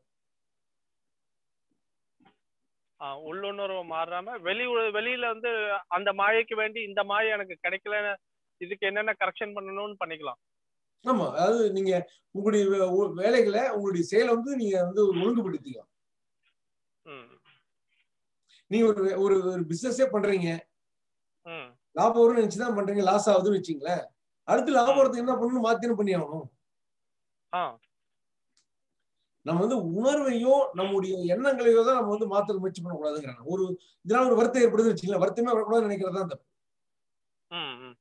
நான் எதிர்பார்த்த மகிழ்ச்சி ஆனா எனக்கு வருத்தம் வந்துருச்சு. எனக்கு வருத்தமே ஏற்படக்கூடாதுன்னு நீங்க அங்க முரண்படுறது தான் தேவையற்றதுங்கிறாங்க. அப்போ இல்ல இல்ல. நான் இன்னொன்னு என்ன கேக்குறேன் அப்போ இந்த இந்த இந்த இதுக்கு இது இது வந்து மாயைன்னு நீங்க இண்டிகேட் பண்ற நான் அண்டர்ஸ்டாண்ட் பண்ண தெரியுதானு கேக்குறேன். இதுதான் மாயைன்னு நம்ம பின்னாடி. அது மாயை என்பது வந்து நீங்க அளந்தறியறது தான் இப்ப நீங்க வந்து அது நம்ம பாக்குறோம் இல்லைங்களா? நமக்கு தோன்றக்கூடியது எல்லாமே புறத்துல தோன்றக்கூடியது எல்லாமே மாயையா தான் இருக்கு. ஏன்னா உங்க உங்கள என்ன பிரதிபலிக்குதோ அதை தான் நீங்க உணர்றீங்க. நீங்க யதார்த்தமான உண்மையை உணர்றதே கிடையாது முழு முதல் உண்மை ஏன்னா உண்மையை வந்து நம்மளால நேரடியா உணரவே முடியாது. நமக்கு பிரதிபலிக்கிற மாதிரி தான் உணர முடியும். இப்ப நீங்க கிளாஸ் நடத்துறீங்க. ஒரு மாணவன் எந்திரிச்சு ஒரு கேள்வி கேட்கறான் அந்த கேள்வி உங்களுக்கு வந்து ஒரு ஹர்ட் பண்ணுதுன்னு வச்சுங்களேன். நீங்க அந்த ஹர்ட்டுங்கிறது தான் வந்து இப்ப உங்களுக்கு வந்து அவன் அந்த கேள்வி கேட்கறாங்கிறது தான் நிகழ்வு. உங்களுக்கு தெரியுதுன்னா தெரியுதுன்னு சொல்லலாம் தெரியலன்னா தெரியலன்னு சொல்லலாம். ஆனா அந்த ஹர்ட்டா ஃபீல் பண்றீங்க பாத்தீங்களா? அதுதான் மாயை okay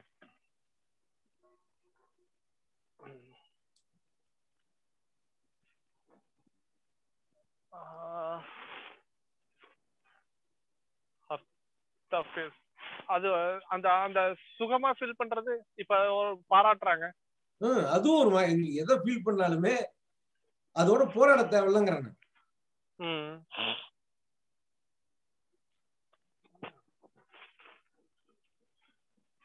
okay okay okay thank you Bhaskaraiah வாங்க. உங்களை அன்பு பண்ணிருக்கீங்க. நீங்க பேசலாம். ஐயா நம்ம அகத்துல ஏற்படுற அனுபவங்கள்லாம் மாயேன்னு சொல்றோங்க ஐயா. ஆமாங்கய்யா அப்படிதானே சொல்றீங்க? ஆமாங்கய்யா ஐயா. எனக்கு நான் நான் நல்லா ஃபீல் பண்றேன். ஃபீல் பண்ண எனக்கு கவலை அந்த அளவு உறுத்துது. நிகழ்காலத்துல இருக்க மாதிரி எனக்கு அந்த அளவு ஃபீலிங்கா இருக்கு. அது எப்படி நான் மாயேன்னு ஒதுக்கிறது பெரிய துன்பமே வருது. அது துன்பமே வருதுங்க ஐயா எனக்கு. ஒரு பெரிய துன்பம் வருதுங்க ஐயா. நான் அனுபவம் அனுபவிக்கிறேன். அது எப்படி நான் மாயேன்னு ஒதுக்குறது? அதான் இப்ப வந்து அது நல்ல ரியலியா நான் ஃபீல் பண்றேன் ஐயா. இப்போ அந்த துக்கம் எனக்கு அந்த அளவு நான் உணர்றேன். உணர்றது எப்படி மாயன்ட்டு நம்ம ஒதுக்குறது? அதாவதுங்கய்யா உங்களுடைய இருப்பதான் நீங்க உணர்றீங்க. ஏன் உங்களுக்கு இருப்பு ஒரு ஒரு உணர்வு இருப்புணர்வு ஒண்ணு இருக்கு இல்லைங்க உங்களுக்கு? ஒரு இருப்புணர்வுல ஏற்படக்கூடிய ஒரு அலையை தான் நீங்க உணர்றீங்க. புரியுதுங்களாங்கய்யா நீங்க சொல்லுங்க. அது வந்து துன்பமா நீ துன்பமா உங்களுக்கு பிரதிபலிக்குதாங்க. இருப்புணர்வுன்னு நம்ம சொல்றோம் இல்லைங்க உங்களுடைய அகங்காரம் நம்ம சொல்றோம் இல்லைங்களா? ஆமா ஆமாங்க. இருப்புணர்வு தான் ஆமா உணர்வா நமக்கு தெரியுது. துன்ப உணர்வா மெஷர்மெண்ட் ஆகுது ஆமா ஆமாங்க. இன்பமா உணர்ந்தாலும் ஒரு மெஷர்மெண்ட் தான். துன்பமா உணர்ந்தாலும் ஒரு மெஷர்மெண்ட் தான். ஆமாங்க அந்த மெஷர்மெண்ட்டை நீங்க வந்து துன்ப உணர்வா நீங்க ஃபீல் பண்றீங்க. ஆனா அதுதான் உங்க இருப்பு உணர்வு அது. இருப்புணர்வுடைய. வடிவம் தான் மாறிட்டே இருக்கு. வடி- வடிவம் எடுக்குது பாத்தீங்களா? இதுதான் மாய் அது நமக்கு அங்க வேலை இல்லைன்னு புரிஞ்சுக்கணும் அவ்வளவுதான். அதாவது இங்க என்னன்னா மாயை மாயை தான் வந்து மாயை புரிஞ்சுக்குது வேற ஒண்ணுமே கிடையாது.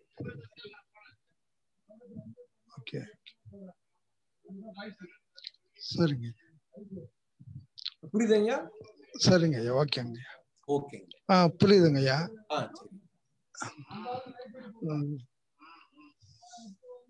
ஆ சரி நீங்க அன்மியூட் பண்ணிருக்க நீங்க பேசலாம். சார் இப்ப புறத்துல வர்ற இன்பம் வந்து மாயைன்னு சொல்றீங்க. அது வர்றதுல தப்பு இல்லைன்னு சொல்றீங்க.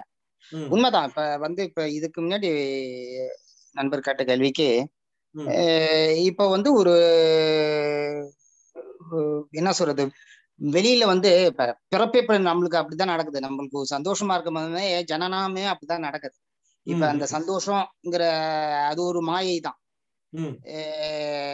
வந்து அந்த அந்த சந்தோஷத்துல தான் ஜனனம் பிறப்பு வருது அத. வந்து நம்ம தப்புன்னு சொல்ல முடியாது. இப்ப ஒரு நம்மளுக்கு ஒரு படம் பார்க்க போறோம் படம். பார்க்கும் போது அதுல அந்த ஒரு ரெண்டு நேரம் அதுல நம்ம அந்த சந்தோஷத்தை அனுபவிக்கிறோம் அது மாயை தான் அத. நம்ம அனுபவிக்கிறது தப்பு கிடையாது ஆனா. அந்த. புறத்துல வந்த சந்தோஷத்தை திரும்ப மீண்டும் மீண்டும் அகத்துல எதிர்பார்க்கறது தவறுன்னு நினைக்கிறேன் நான் அதுதான் இப்ப புறத்துல வர்றது தப்பு கிடையாது. புறத்துல. வர்றது வந்து ஏன்னா. அவர் வந்து இந்த பிளஷர் பத்தி கேட்டாரு அவரு. பிளஷருங்கிறது ஒரு மாயை தான் ஏன்னா நான் என்ன நினைக்கிறேன். உடலால் அனுபவிக்கிற சுகம் மாயை. அது வந்து மனதுல வந்து திரும்ப மீண்டும் மீண்டும் வரணும்னு நினைக்கிறது அங்க வந்து மாயை வந்து தப்பு. அந்த மாயை தொந்தரவு பண்ண நினைக்கிறேன். இப்ப. உடலால அனுபவிக்கிறதுல எந்த வித தப்பு? யாருக்கும் தொந்தரவு இல்லைன்னா நம்ம ஒரு படம் பார்க்கறதோ ஒரு மியூசிக் கேட்கறதோ அது ஒரு உங்களுக்கு இன்பம் தானே ப்ரெஷர் தானே அது அதை. அணிவிக்கிறதுல தப்பு கிடையாது அது மத்தவங்க மத்தவங்களுக்கு பாதிக்கப்படல. நமக்கு நம்ம உடம்புக்கும் பாதிக்கப்படல. அப்படிங்கும் போது அதுல எந்த விதமான தவறுதலே கிடையாது என்னை பொறுத்த வரைக்கும் இது அகத்துல போய் நம்ம எதிர்பார்த்தோம்னு வச்சுக்கோங்க நம்ம ஒரு படத்தை பார்த்துட்டு அந்த ஒரு சந்தோஷமோ. இல்ல எங்கேயோ ஒரு என்ஜாய் பண்ண ஒரு சந்தோஷம் வந்து மீண்டும் மீண்டும் தேவையில்லாத நேரத்துல அகத்துல எதிர்பார்க்கறது அந்த அனுபவத்தை வந்து மீண்டும் மீண்டும் வந்து எதிர்பார்க்கறது வந்து துன்பத்துல கொண்டு விடும். அந்த மாயை வந்து துன்பத்துல கொண்டு போகணும் என்னோட. அகத்துல எதிர்பார்க்கறதுங்கிறது ஒரு போராட்டத்தை உண்டாக்கிடுது போராட்டம் கண்டிப்பா. கண்டிப்பா ஆனா புறத்துல வந்து உடல் ரீதியா இந்த இடத்துல அடிக்கோடிட்டு சொல்றேன்னு வச்சுங்களேன் ஏன்னா புறத்துல என்ன நினைக்கிறாங்கன்னா புறங்கிறது வந்து. உடல் சம்பந்தமா அனுபவம் சுகம் அங்க மனமா வந்தா கூட அத உடலா தான் எடுத்துக்கணும் அப்போ வந்து நம்மளுக்கு புறத்தை பொறுத்தவரை இன்பமா இருந்தாலும் சரி துன்பமா இருந்தாலும் சரி நம்மளதான் உணரணும். நம்ம நம்முடைய உணர்வு நிலையில் ஏற்படக்கூடிய மாற்றத்தை தான் உணரமே தவிர நம்ம வந்து உண்மையை எப்பயுமே நம்மளால அனுமானிக்க தான் முடியுமே தவிர நேரடியாக உணரவே முடியாது. இப்ப வந்து நம்ம நம்ம- நம்ம நம்முடைய உணர்வு நிலையில ஏற்படக்கூடிய இந்த மாற்றத்தை தான் நம்ம ஃபீல் பண்றோம். ஆமா அதுவும் வந்து போறது தானே. எல்லாத்தையுமே அனுபவிச்சாகணும். எல்லாத்தையுமே நம்ம. வந்து பார்த்தாகணும் கணிச்சாகணும் செயல்பட்டாகணும். இப்போ மா ஆமா. இப்ப மாயைங்கிறது நிலையிலால் தானேங்க. வந்து வந்து வந்துட்டு போறது தானே அதுவும். அதனால வந்து நான் சொல்ல வந்தேன். ரைட். நல்லது. ஓகே. சுதீஷ் ஐயா வாங்கய்யா? நீங்க அட்மிட் பண்ணிட்டு பேசலாம் ஐயா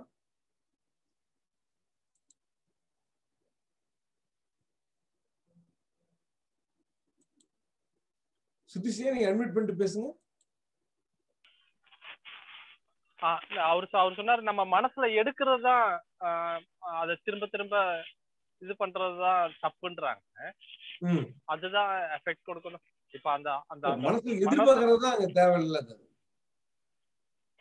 இது செஞ்சா மகிழ்ச்சியே தான் எனக்கு ஏற்படணும். எனக்கு வந்து கஷ்டமே வரக்கூடாது.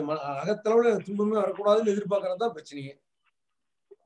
அதுதான் இப்ப வந்து நம்ம அந்த அத அது இல்லைன்னா செய்யலே பண்ண முடியாது இல்லைங்களா? இப்போ அவர் ஒரு மியூசிக்கு ஒரு எக்ஸாம்பிள் சொல்றாரு. நான் மியூசிக் கேட்கணும்னு அந்த எடுக்கும் போதே அந்த மியூசிக் கேட்கணும்னு நினைக்கும் போதே அந்த ஸ்டார்டிங்கே அந்த அந்த அந்த ப்ளஷருக்கு வேண்டி தான் நம்ம அந்த வந்ததுக்கு அப்புறம் தான் அது போவோம் அந்த ப்ளஷர் வேணும்ன்ற அந்த அர்ஜு வந்ததுக்கு அப்புறம் தான் அந்த. மியூசிக் கேட்கவே போவோம் அந்த ப்ளஷர் வேணும்ன்றது அது அந்த அந்த சுகம் வேணும்ன்ற அந்த அந்த சீக்கிங்னால தான் நம்ம வந்து எந்த ஒரு காரியம் செய்ய போகும்போதும் அது. சுகம் கிடைக்கும்ன்ற ஒரு அந்த ஃபர்ஸ்ட் அந்த மனசுல வந்ததுக்கு அப்புறம் தான் நம்ம பண்ணவே போவோம் ஐயா என்னன்னு கேட்டீங்கன்னா நம்முடைய அகங்கிறது வந்து ஒரு வந்து நிழல் மாதிரிதான். நம்ம மகிழ்ச்சிங்கிறதே நீங்க வந்து அகத்துல தான் ஏற்படுது. ஓகேங்களா? ஆனா அந்த மகிழ்ச்சிக்கான செயல் வந்து நம்ம புறம் நோக்கி தான் இருக்குமே தவிர அகத்துல கிடையாதுங்கிறேன்.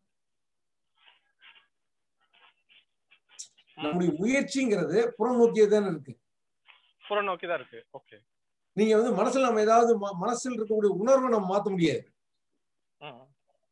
இப்ப நான் ஏற்கனவே ஏற்கனவே பல தடவை சொன்ன உதாரணத்தை தான் சொன்னா பொருத்தமா இருக்கும்னு நினைக்கிறேன். இப்போ வந்து ஒரு இந்த எண்டோஸ்கோப் சர்ஜரின்னு சொல்றாங்க இல்லைங்களா? ஒரு சர்ஜரி பண்ணுவாங்க ஹோல்ஸ் பண்ணி உள்ள வயிற்றுக்கு ஒரு பிரச்சனை வச்சுங்களேன். ஒரு சின்ன ஹோல்ஸ் போட்டு. கேமரா உள்ள விட்டு பார்ப்பாங்க. பெரிய சர்ஜரி பண்ண மாட்டாங்க. ஒரு. மானிட்டர் தெரியும். அந்த மானிட்டர்ல வயிற்றுக்குள்ள என்னென்ன என்ன கட்டி இருக்காங்கிறத பார்த்துட்டு அங்க வந்து கட் பண்ணி சர்ஜரி பண்ணுவாங்க. இப்போ வந்து நமக்கு வந்து நம்முடைய மானிட்டருங்கிறது நம்ம மைண்டு தான் நம்முடைய மானிட்டர் இப்போ வந்து நம்ம மைண்ட்ல அதாவது மைண்டு தான் புறத்தையே நமக்கு காட்டுது எல்லாமே காட்டுது. நம்ம செயல் செயல்பட வேண்டிய இடம் வந்து புறம் தான். இப்போ உங்களுக்கு கட்டி தெரியுதுன்ட்டு நீங்க மானிட்டர்ல உங்களால செயல்பட முடியுமா? மானிட்டர் மானிட்டர்ல கட்டி தெரியுது. மானிட்டர்ல சரி பண்ணுவோமா இல்ல நம்ம வயிற்றுக்குள்ள இருக்கிற கட்டியை சர்ஜரி பண்ணுவோமா வெளியில செய்வோம். உள்ளுக்குள்ள அது மாதிரி புறத்தை காட்டுறதே நம்ம மனசு தான் காட்டுது. ஒரு ஒரு துன்பமான சூழ்நிலையில துன்பம் உள்ள ஏற்படுது. அப்ப அத துன்பத்தை போக்குறதுக்கு வந்து நம்முடைய வேலை வந்து புறம் நோக்கி தான் இருக்கணும் புறம் நோக்கி இருக்கிறது தான் சரி. அகத்துல நான் துன்பத்தை மாத்தணும் என்னுடைய மன உணர்வுகளை மாத்தணுங்கிற முயற்சி பண்றதுதான் தப்புங்கிறேன் நீங்க அது எப்பயுமே அகத்தை நிர்வாகம் பண்றதுக்கு நமக்கு எந்த ஒரு வாய்ப்புமே இல்லை. அது ஒரு பிரதிபலிப்பு தான். அது ஒரு ரியாக்ஷன் நம்முடைய ஆக்ஷன் எல்லாம் புறம் நோக்கி தான் இருக்குது. அதனுடைய விளைவா வந்து ரியாக்ஷன் உள்ள ஏற்படுது. நம்ம புறநோக்கி இருந்தாலுமே சார் இப்ப வந்து. புறநோக்கி நம்ம செயல் இருந்தாலுமே அந்த. அகத்துக்கு அகத்தை வந்து சாட்டிஸ்ஃபை பண்றதுக்கான புறநோக்கி செயல் அகத்துல ஒரு மாற்றத்தை உண்டாக்க தான் புறம் நோக்கி செயல்படுறோம். ஆனா அகத்திலேயே அந்த முயற்சி பண்ணக்கூடாதுங்கிறேன் நான். அகத்துல ஒரு நல்ல விதமான மனநிலைக்கு வரணும். அப்படிங்கிறதுக்காக தான் நம்ம புறத்துல செயல்படுறது செயல்படுறோம். ஆனா அந்த முயற்சி வந்து அகத்துல தியானம் பண்ணி உட்காந்து நான் வந்து மனசனுடைய நிலையை மாத்திரன்னு நினைக்கிறது தான் பிரச்சனை. அகத் நீங்க வந்து நம்ம அகத்துல வேலையே இல்லைன்னு முடிச்சுக்கிட்டீங்கன்னாவே உங்களுக்கு வந்து இன்ப நாட்டமே உங்களுக்கு தேவையான அளவுக்கு மாறிடும் ம் ம். ஒரு அளவு முறைக்கு வந்துடும் அது. இன்பத்தையும் அதிகப்படியா நாடுற போக்கு தான் வந்து நமக்கு துன்பத்தை கொடுக்குது. நீங்க ஒரு வகையில அகச்சரணாகதி அடையும் போது அகத்துல நமக்கு எந்த வேலையும் இல்லைன்னு அகச்சரணாகதி அடையும் போது அதிகப்படியான இன்ப நாட்டம் கூட உங்களுக்கு குறைஞ்சிடும் ஏன்னா நீங்க நீங்க ஒரு ஒண்ணு செஞ்சா மகிழ்ச்சின்னு செய்றீங்க. மகிழ்ச்சி ஏற்படுதுன்னு வச்சுங்க. அந்த மகிழ்ச்சி அது அடுத்த செய்யும் போது அதே மகிழ்ச்சி ஏற்படுமா பாருங்க. மகிழ்ச்சி எவ்வளவு நேரம் உங்களால நீடிக்க முடியும்? இல்ல அது அதுவுமே ஒரு நம்மளோட செயலை வந்து பாதிக்காதுங்களா? செயல் இப்போ ஒரு செயல் செய்யறது பாதிக்க சப்போஸ் இப்ப ஒண்ணுமே இல்ல. இப்போ இப்ப நான் வந்து இன்பம் அந்த இன்பம் எனக்கு கிடைக்கல. இன்பம் நாட்டம் இல்லைன்ற அந்த. அந்த மாதிரி ஒரு நிலைமை வருது. அந்த மாதிரி இருக்கும்போது நம்ம ம். செயல் வந்து நடக்காது இல்லைங்களா? அதுதான் சொல்றேன் நான். ஒரு இப்பதான் வந்து பாத்தீங்கன்னா ஒரு நல்ல விஷயத்துக்காக ஒரு வேலை செய்வோம் நாம. எல்லாருக்கும் நல்லது நடக்கும். அதாவது தனிப்பட்ட ஒரு சுயநலத்துக்காக ஒரு வேலையை செய்ய மாட்டோம். அது ஏனோ தானே தானே நடக்கும்.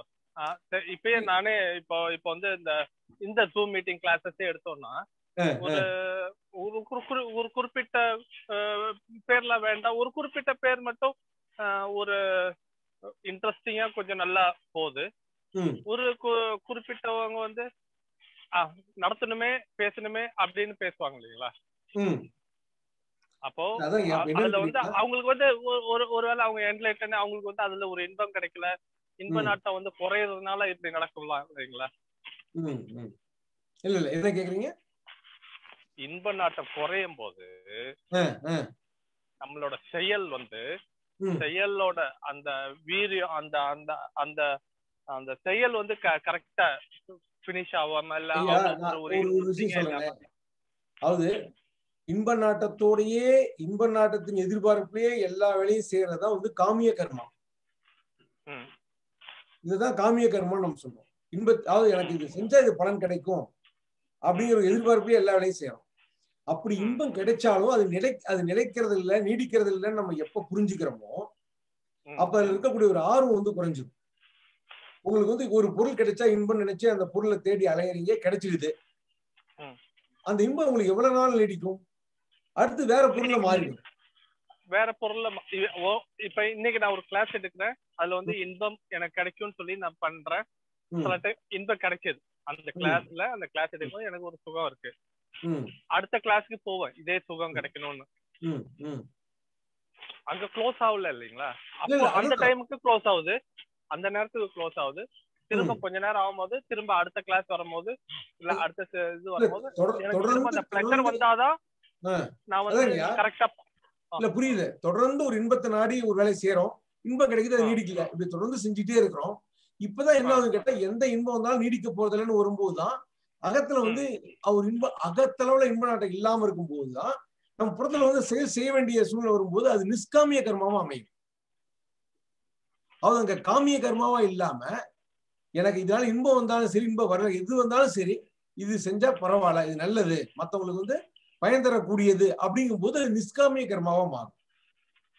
எனக்கு மகிழ்ச்சி தந்தா மட்டும்தான் நான் செய்வேன் அப்படிங்கிறது இல்லாம மகிழ்ச்சி வந்தாலும் சரி எது வந்தாலும் சரி ஒரு சமநோக்கா வேண்டுதல் வேண்டாமை இலானடி சேர்ந்தாருக்கு யாண்டும் இடுமை இல்லைங்கிறது இங்கதான் வருது. நீ ஆரம்பத்துல இன்பத்தை நோக்கி எல்லா வேலையுமே செய்யறோம். இது செஞ்சா இன்பம் இது செஞ்சா நல்லது இது மகிழ்ச்சியா இருக்குன்னு செய்யறோம். ஆனா எந்த செஞ்சுமே எந்த இன்பமுமே நீடிக்கிறது இல்ல எல்லாம் சொற்ப நேரம் இருக்கு அப்படிங்கும் போதுதான் அது இருக்கக்கூடிய இன்ப நாட்டம் குறைஞ்சிடும் அப்போ வந்து செயல் அப்படியே செய்வோம். அது வந்து நிஷ்காமிய கர்மாவா இருக்கும். ஒரு கர்மாவை ஒரு பதிவை ஏற்படுத்தாத ஒரு நிஷ்காமியமா அமையும். அது வேண்டுதல் வேண்டாமையா அந்த செயல் அமையும். நடுநிலைமையோட அந்த செயலை செய்வீங்க. அந்த அந்த செயல்ல ஒரு இது இருக்காது இல்லைங்களா? அந்த செயல்ல அந்த அந்த அந்த இன்பம் அந்த இன்ப நாட்டம்ல அதுல அந்த ஒரு பிளஷர் இல்லைன்னா. இல்லாம இருக்கும்போது இல்லாம ஒரு செயல் செய்யும் போது அந்த செயல் கேக்குறீங்க. ஏனோ தானோ தானே இருக்கும். அப்படி. இன்வால்மெண்ட் இருக்காது இல்லைங்களா? இல்ல நீங்க கேள்வி கேக்குறேன். கேள்வி கேக்குறேன். நீங்க எங்களுக்கு எனக்கு எங்களுக்கு பதில் சொல்றீங்க. அந்த பதில் சொல்லும் போது உங்களுக்கு அந்த பிளஷர் கிடைக்கல இல்ல அந்த இது கிடைக்கலன்னா நீங்க. ஏனோ தானோ சொல்லுவீங்க. அதாவது எல்லாத்துக்குமே ப்ளஷர் கிடைக்குது. நான் ஒரு உங்களுக்கு பதில் சொல்லும்போது சரியான பதில் சொல்லிட்டேங்கிற ஒரு ப்ளஷர் எனக்கு கிடைக்கதான் செய்யுது. இது எல்லாமே வந்து. இது எல்லாமே அது எதிர்பார்த்தானே நம்ம எதிர்பார்த்தானே அந்த நீங்க வந்து அந்த அந்த எதிர்பார்க்காம நீங்க வந்து சொல்ல மாட்டீங்க இல்லைங்களா? இல்ல, பேச அது- மாட்டோம் இல்லைங்களா? அது இது இதுல வந்து என்னன்னு கேட்டீங்கன்னா எதிர்பா அது எதிர்பார்க் எதிர்பார்க்கறோம் பார்க்கலங்கிறத விட விளைவா வந்துட்டு தான் ஏதோ ஒரு ரிஃப்ளெக்ஷன் உள்ளாகுது நான் ஒரு ஒரு பதில் கொடுக்குறேன். அதனுடைய ரிஃப்ளெக்ஷன் வந்து உள்ள வந்து ஒரு பிளஸரா இருக்கலாம் இல்ல பெயினா இருக்கலாம். எதை வேணா இருக்கலாம். எனக்கு அது ஈடுபாடு இல்லை. ஈடுபாடு இல்லைன்னா அது மாத்தணுங்கிற ஈடுபாடு இல்லை. எது வந்தாலும் ஓகே பட் இதுக்கான பதில் இதுதான்ங்கிற சரியான பதில் இதுதான் அப்படின்னு பதில் கொடுத்துட்டு இருக்கேன். எது சரியோ அதை செய்யறேன் நான் வந்து மாத்தி சொன்னா எனக்கு இன்பம் கிடைக்கும்னு மாத்தி சொன்னு வச்சுக்கலாம் அதுதான் இப்ப வந்து உங்களை மகிழ்ச்சி படுத்துறதுக்காக சொன்னா நீங்க மகிழ்ச்சி அடைவீங்கன்னு நான் தவறானதை சொல்லக்கூடாது. இல்ல இல்ல. அப்படி அது இல்ல. என்ன மகிழ்ச்சி படுத்துன்றதோட ம். சுய மகிழ்ச்சி தானே நம்ம பாக்குறோம் நான் கூட பர்ஃபெக்டா சொன்னாதான் எனக்கு சுகம் கிடைக்கும்ன்றது தானே நம்மளோட இது. நான் என்னோட ஆன்சர் பர்ஃபெக்டா இருந்தா சரியா இருந்தா தான் எனக்கு சுகம் கிடைக்கும் அது எல்லாரோட பிரசிப்ஷன் தானே. நீங்க. அப்படி நினைக்கிறீங்க? இல்ல நீங்க கேள்வி கேக்குறீங்க? அதுக்கான பதில் எனக்கு தெரியலன்னு வச்சுக்கங்க. நான் தெரியலன்னு சொல்றது கரெக்ட் தெரியலன்னு சொன்னாதான் உங்க தெரியலன்னு சொன்னா உங்களுக்கு சுகம் கிடைக்குது. எனக்கு. வந்து அதை. சாட்டிஸ்ஃபை பண்ற அவனை சாட்டிஸ்ஃபை பண்றப்ப ஏதோ ஒண்ணு சொன்னா எனக்கு சுகம் கிடைக்குது. அதை தானே நான் பண்ணுவேன். உங்களுக்கு இது இது சொன்னா. இல்ல தெரியல அப்படின்னு சொன்னாதான் உங்களுக்கு ஒரு சுகம் உங்களுக்கு ஒரு சாட்டிஸ்பாக்சன் ஒரு மனசுல ஒரு திருப்தி வருன்ற போதுதான். நீங்க அப்படி சொல்லுவீங்க. எல்லாருமே அவங்கவுங்க பேச வச்சுதானே சொல்றாங்க. இல்ல கண்டிப்பாங்க இதுல என்ன விஷயம்னா நீங்க உங்க மையத்தை மட்டும் புரிஞ்சுக்கணும். என்னன்னு கேட்டீங்கன்னா இன்ப நாட்டு உள்ள வந்து ஒரு மகிழ்ச்சிக்காகவே செஞ்சா கூட நம்முடைய கவனம்னு ஒன்று இருக்கு பாத்தீங்களா? அந்த கவனம் வந்து செயல் நோக்கி இருக்கிறது தான் சரி. நம்முடைய மகிழ்ச்சியை நோக்கி இருக்கும்போது தான் பிரச்சனையாகுதுங்க இப்ப நீங்க எல்லாமே இன்- இன்பத்து இன்பத்துக்காக தான் பதில் சொல்றேன். இன்பத்துக்காக தான் நீங்க கேள்வி கேட்கறீங்க எல்லாமே இன்ப இன்பத்தினுடைய நோக்கியே இருந்தா கூட நம்முடைய கவனம் நம்முடைய அகத்தை நோக்கி இல்லாம புறம் நோக்கி இருக்கிறது தான் சரியான இது. நம்முடைய கவனம்ங்கிறது தான் நம்ம அறிவுங்கிறது. நாம் நான்கிறது நம்முடைய கவனம் தான் இந்த கவனம் வந்து அகம் நோக்கி இருக்கக்கூடாது. அகத்துல ஈடுபாடா இருக்கக்கூடாது. அகத்தில் ஈடுபாடா இருக்கும்போது தான் செயல் வந்து தவறு நடந்துடும் ஐயா, புரியுதுங்களா இங்க? நம்முடைய கவனம்ங்கிறது ரொம்ப முக்கியமான ஒண்ணு வச்சுக்கோங்க அது அகம் நோக்கி நீங்க எல்லாமே அகத்துல இன்பத்துக்காக தான் செய்யறேன். எல்லாமே நான் மகிழ்ச்சிக்காக தான் செய்யறேன் நீங்க செய்யும் போது நம்ம கவனம் ஃபுல்லா இங்கதான் இருக்கும் இது இது இது வந்து நிலையற்றது இது. உள்ளா இருக்கிறது. இப்ப நீங்க வந்து நிரந்தரமான நமக்கு எப்போ உங்களுக்கு நிரந்தரமான மகிழ்ச்சி கிடைக்கும் பாருங்க. எந்த செயலுமே கிடைக்காது. எது நீங்க வந்து ரொம்ப சிரமப்பட்டு கடன் கூட வாங்கி ஒரு கார் வாங்குறீங்கன்னு வச்சுங்களேன். அந்த கார் வாங்கி அவனு மகிழ்ச்சிக்காக வாங்குறீங்க. அது எவ்வளவு நாள் நீடிக்க போகுது? ஆனா என்ன ஆகும்? அந்த கடன். பிரச்சனை அதிகமா இருக்கும். அது கரெக்ட் தான். எனக்கு வந்து இன்பம் வந்து தொடர்ந்து இருக்காது. ஏன்னா அந்த கிளாஸ் முடிச்சு ஒரு அரை மணி நேரம் ஒரு மணி நேரத்துல அந்த சுகம் இருக்கும். ஒரு மணி நேரம் ரெண்டு மணி நேரம் போயிடுச்சுன்னா அது முடிஞ்சு போச்சு. அந்த சுகம் வந்து அங்க போயிட்டு அடுத்த கிளாஸ்ல அடுத்த கிளாஸ் நான் எடுக்க போகும்போது அதுல அதுல எனக்கு சுகம் கிடைக்கும். இந்த மாதிரி சுகம் கிடைக்கும். கிடை- இப்ப பழைய கிளாஸ்ல கிடைக்கலனாலும் அந்த கிளாஸ்ல எனக்கு சுகம் கிடைக்கிறதுக்கு நான் என்னென்ன கரெக்ஷன் பண்ணணும்? இந்த இதுல நான் இதுல கிடைக்காம போன சுகம். அதுல கிடைக்கிறதுக்கு நான் என்னென்ன பண்ணணும். அத நோக்கி பண்ணி. போவேன். அப்ப. போகும்போது அந்த சுகத்தை எதிர்பார்த்து தான் நான் போறேன். ம். அது யாருமே இது பண்ண துன்பம் வரும்னு நினைச்சிட்டு யாருமே எந்த வேலையுமே செய்ய போறது கிடையாது. எல்லாமே இதனால ஒரு நன்மை பயக்கும். ஒரு இன்பம் இருக்குன்னு நினைச்சுதான் எல்லா வேலையுமே ஹலோ. ஹலோ கேக்குதுங்களா? கேக்குது கேக்குது. நான் சொல்றேன் எல்லா வேலைக்குமே இது ஒரு நன்மையா இருக்கும். இதனால ஒரு மகிழ்ச்சி ஏற்படுங்கிறதுக்காக தான் எல்லா வேலையுமே ஒரு சு- ஒரு நிறைவுக்காக தான் எல்லா வேலையுமே செய்யறாங்க ஆனா நம்முடைய கவனமானது வந்து புறம் நோக்கி தான் செயல்படுதே தவிர நீங்க வந்து மகிழ்ச்சியை கொண்டு வர போறேன் அப்படின்னு செஞ்சீங்கன்னா மகிழ்ச்சி தான் வரும்னு உறுதியா சொல்ல முடியாது? அது உறுதியா சொல்ல முடியாது. அது கன்ஃபார்ம் அது எனக்கு அது அது கன்ஃபார்ம் அது அது தெரியுது. அது பிளாட்ஃபார்ம் அது அது கரெக்டா உங்க புரிஞ்சுக்கிட்டீங்கன்னா போதும். அது எதிர்பார்க்க அது என்னன்னா நீங்க இதை செஞ்சா நன்மை பயக்கும் தான் எல்லா வேலையுமே செய்யறோம் எல்லா வேலையும் செய்யறோம் ஆமா. ஆனா. இப்ப உங்களுக்கு வந்து இல்ல இல்ல உங்களுக்கு வந்து மகிழ்ச்சி வரலன்னு வச்சுங்களேன் ஏன்டா மகிழ்ச்சி வரல நீங்க உள்ள போராட ஆரம்பிச்சீங்கன்னா அதான் பிரச்சனை. உள்ள போராடாம வெளியில போராடணும். வெளியே அடுத்த வேலை செய்யல நம்ம நம்முடைய செயல்ல எங்கேயோ தவறு இருக்கு. அது எப்படி மாத்தணுங்கிற கவனம் அங்க போகும். அங்க போனாதான் திரும்ப அந்த சுகத்தோட சாட்டிஸ்பாக்சன் எனக்கு கிடைக்கும்.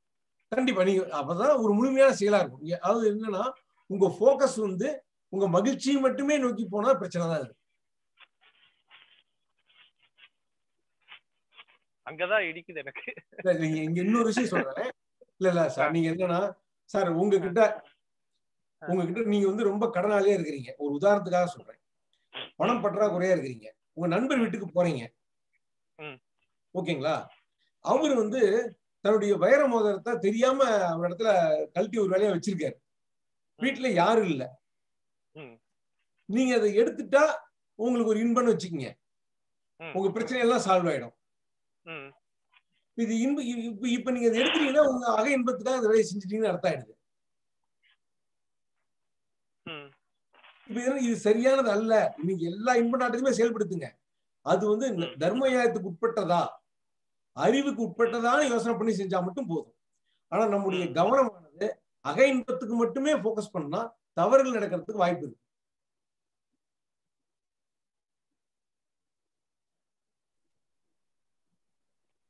ஐயா? நடுவுல கால் வந்துச்சு. Okay okay. அதாவது நம்முடைய ஃபோக்கஸ் ஆனது புறச் செயல்ல வந்து ஒரு வந்து ஒழுங்கு தர்மம் நியாயம் இருக்கணும். இப்ப அதனால ஒரு இன்பம் அதனுடைய சைடு எஃபெக்டா இன்பம் வந்தா வரட்டும். ஓகே இன்பத்துக்காக தான் செய்யறோம் அதனுடைய சைடு எஃபெக்டா நீங்க எடுக்காம விட்டீங்க. நீ வீட்டுக்கு போனா கடங்காரன் உங்களை வந்து துரத்த போறான். வரட்டும் அதை எப்படி எதிர்கொள்றதுன்னு பாருங்க. நியாய தர்மத்தோட எப்படி எதிர்கொள்றதுன்னு பாருங்க. அது நம்ம நமக்கு வரக்கூடிய இன்ப ஞாட்டத்தை அறிவுக்கு உட்படுத்தி செயல்படுத்தினா போதும். ஆனா நீங்க உள்ள ஃபோக்கஸ் பண்ணி இன்பம் மட்டுமே தான் வரணும் போது எல்லா பிரச்சனையும்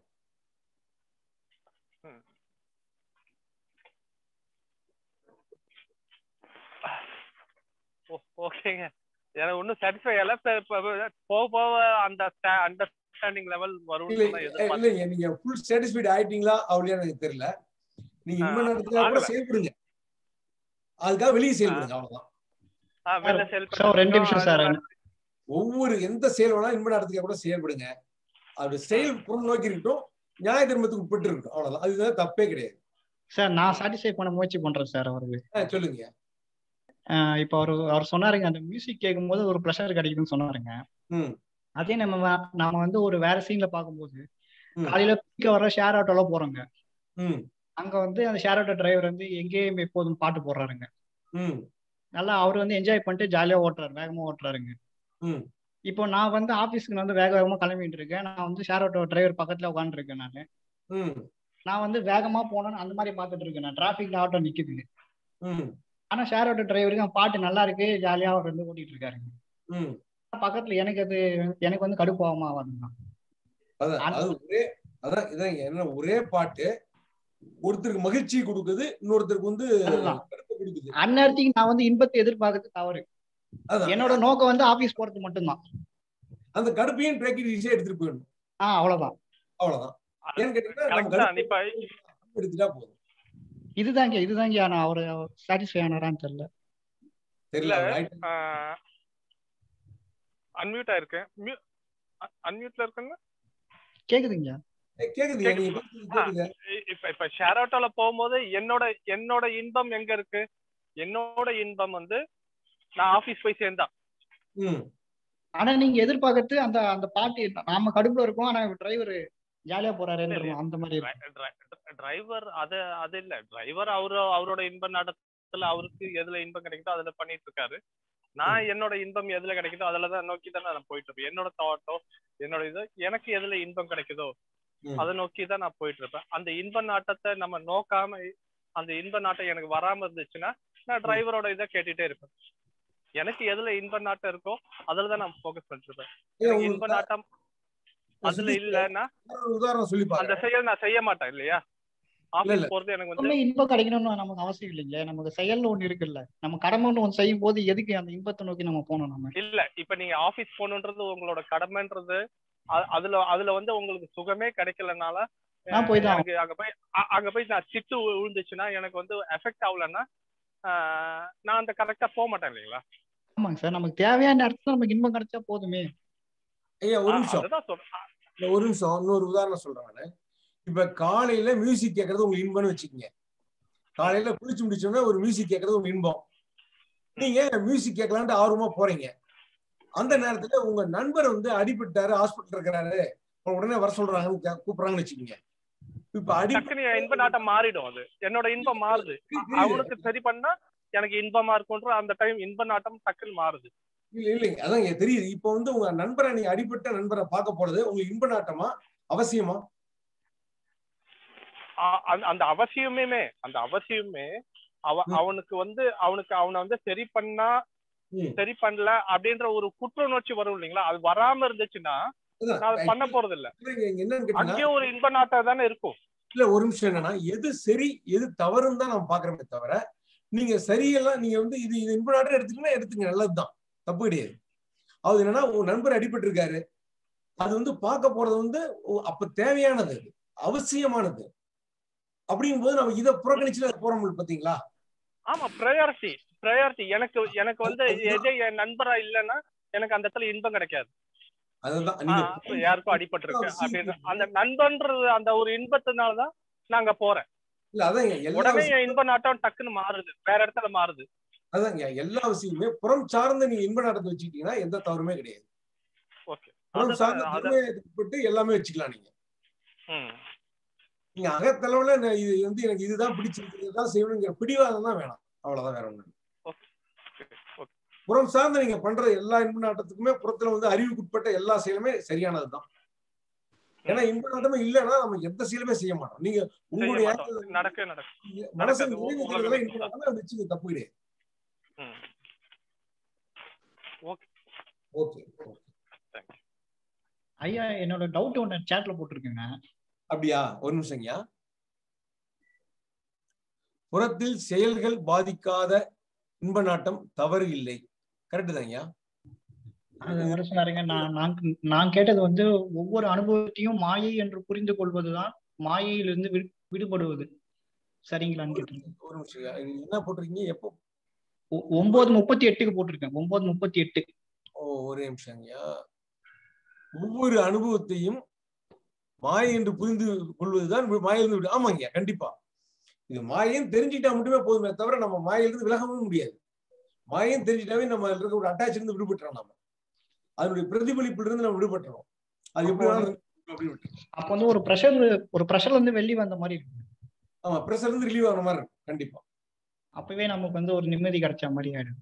கண்டிப்பாங்க கண்டிப்பா சரி சரிங்க. விளக்கம் ரொம்ப நல்லா இருந்துச்சுங்க.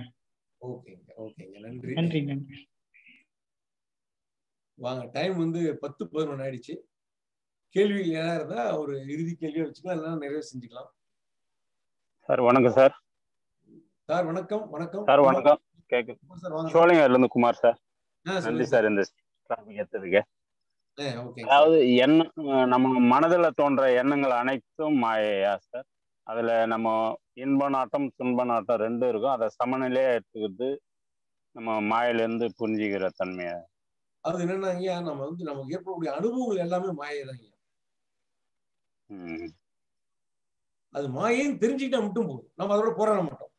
இப்ப இது வெறும் நிழல் தான் அப்படின்ட்டோம்னு வச்சுங்களேன் அது நிர்வாகம் பண்ற வேலை நமக்கு இல்லை இல்ல ஆமா ஆமா நான் வந்து நிழல்ல போய் நிர்வாகம் பண்றது ஏதாவது அர்த்தம் இருக்கா? எந்த அர்த்தமும் கிடையாது. நமக்கு ஏற்படக்கூடிய அனுபவங்கள் அனைத்துமே மாயை அப்படின்னு தெரிஞ்சுக்கும் போது நாம் அதை நிர்வகிக்கிற வேலையை விட்டுருவோம்.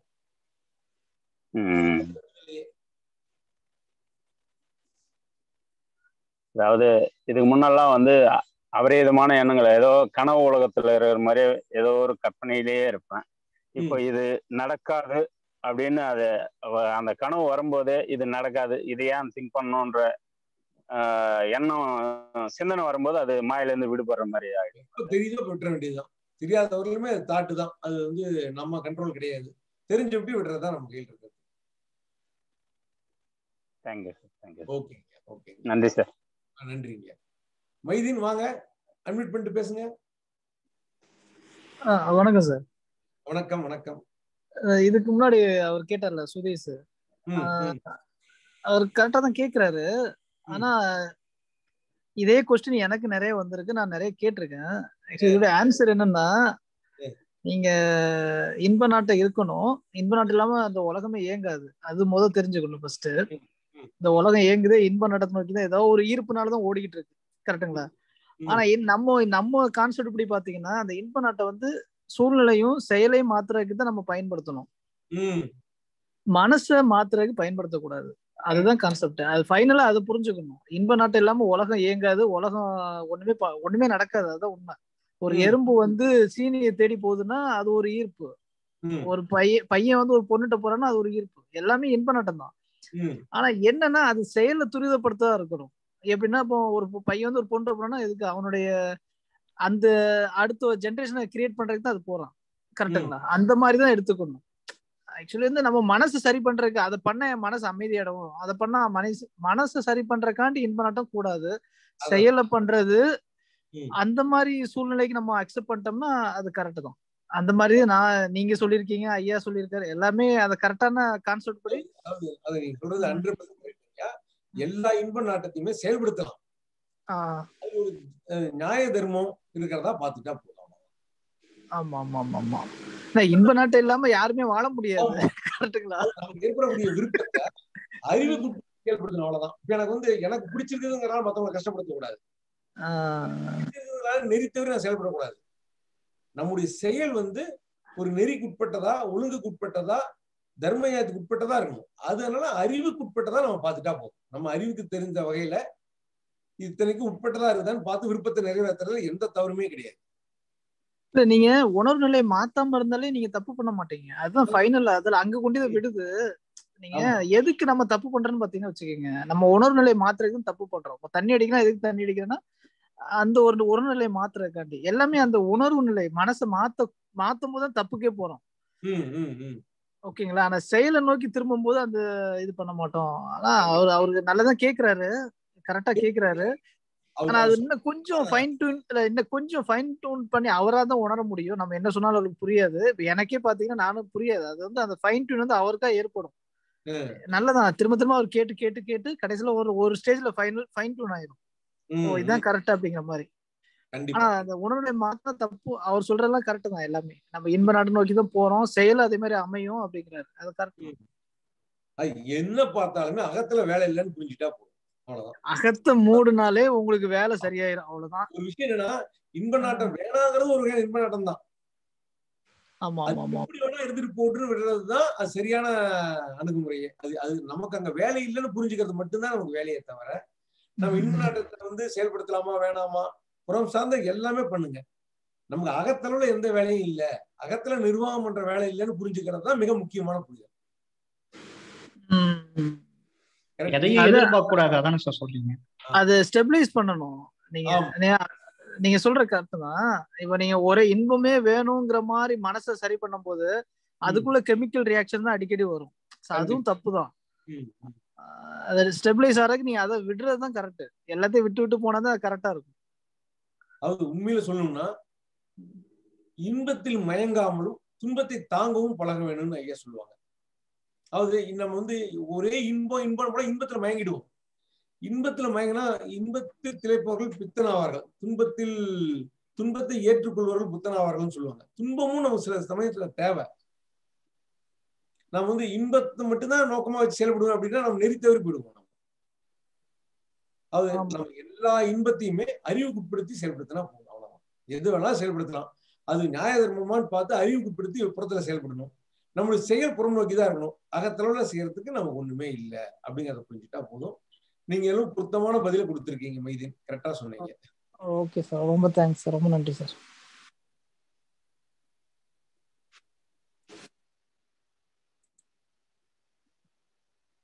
மாரியப்பன் மாரியப்பன் ஐயா வந்திருக்காங்க. நீங்க ஏதாவது பேசணுமா? இது சவுண்ட் எதுவும் கேட்கல ஓகே. நம்ம டைம் ஆயிடுச்சு நம்ம நிறைவு கொண்டு வந்துருவோம் நம்ம கலந்து கொண்ட அனைவருக்கும் நன்றியும் வணக்கத்தையும் தெரிவித்துக் கொள்கின்றேன். நன்றி வணக்கம்.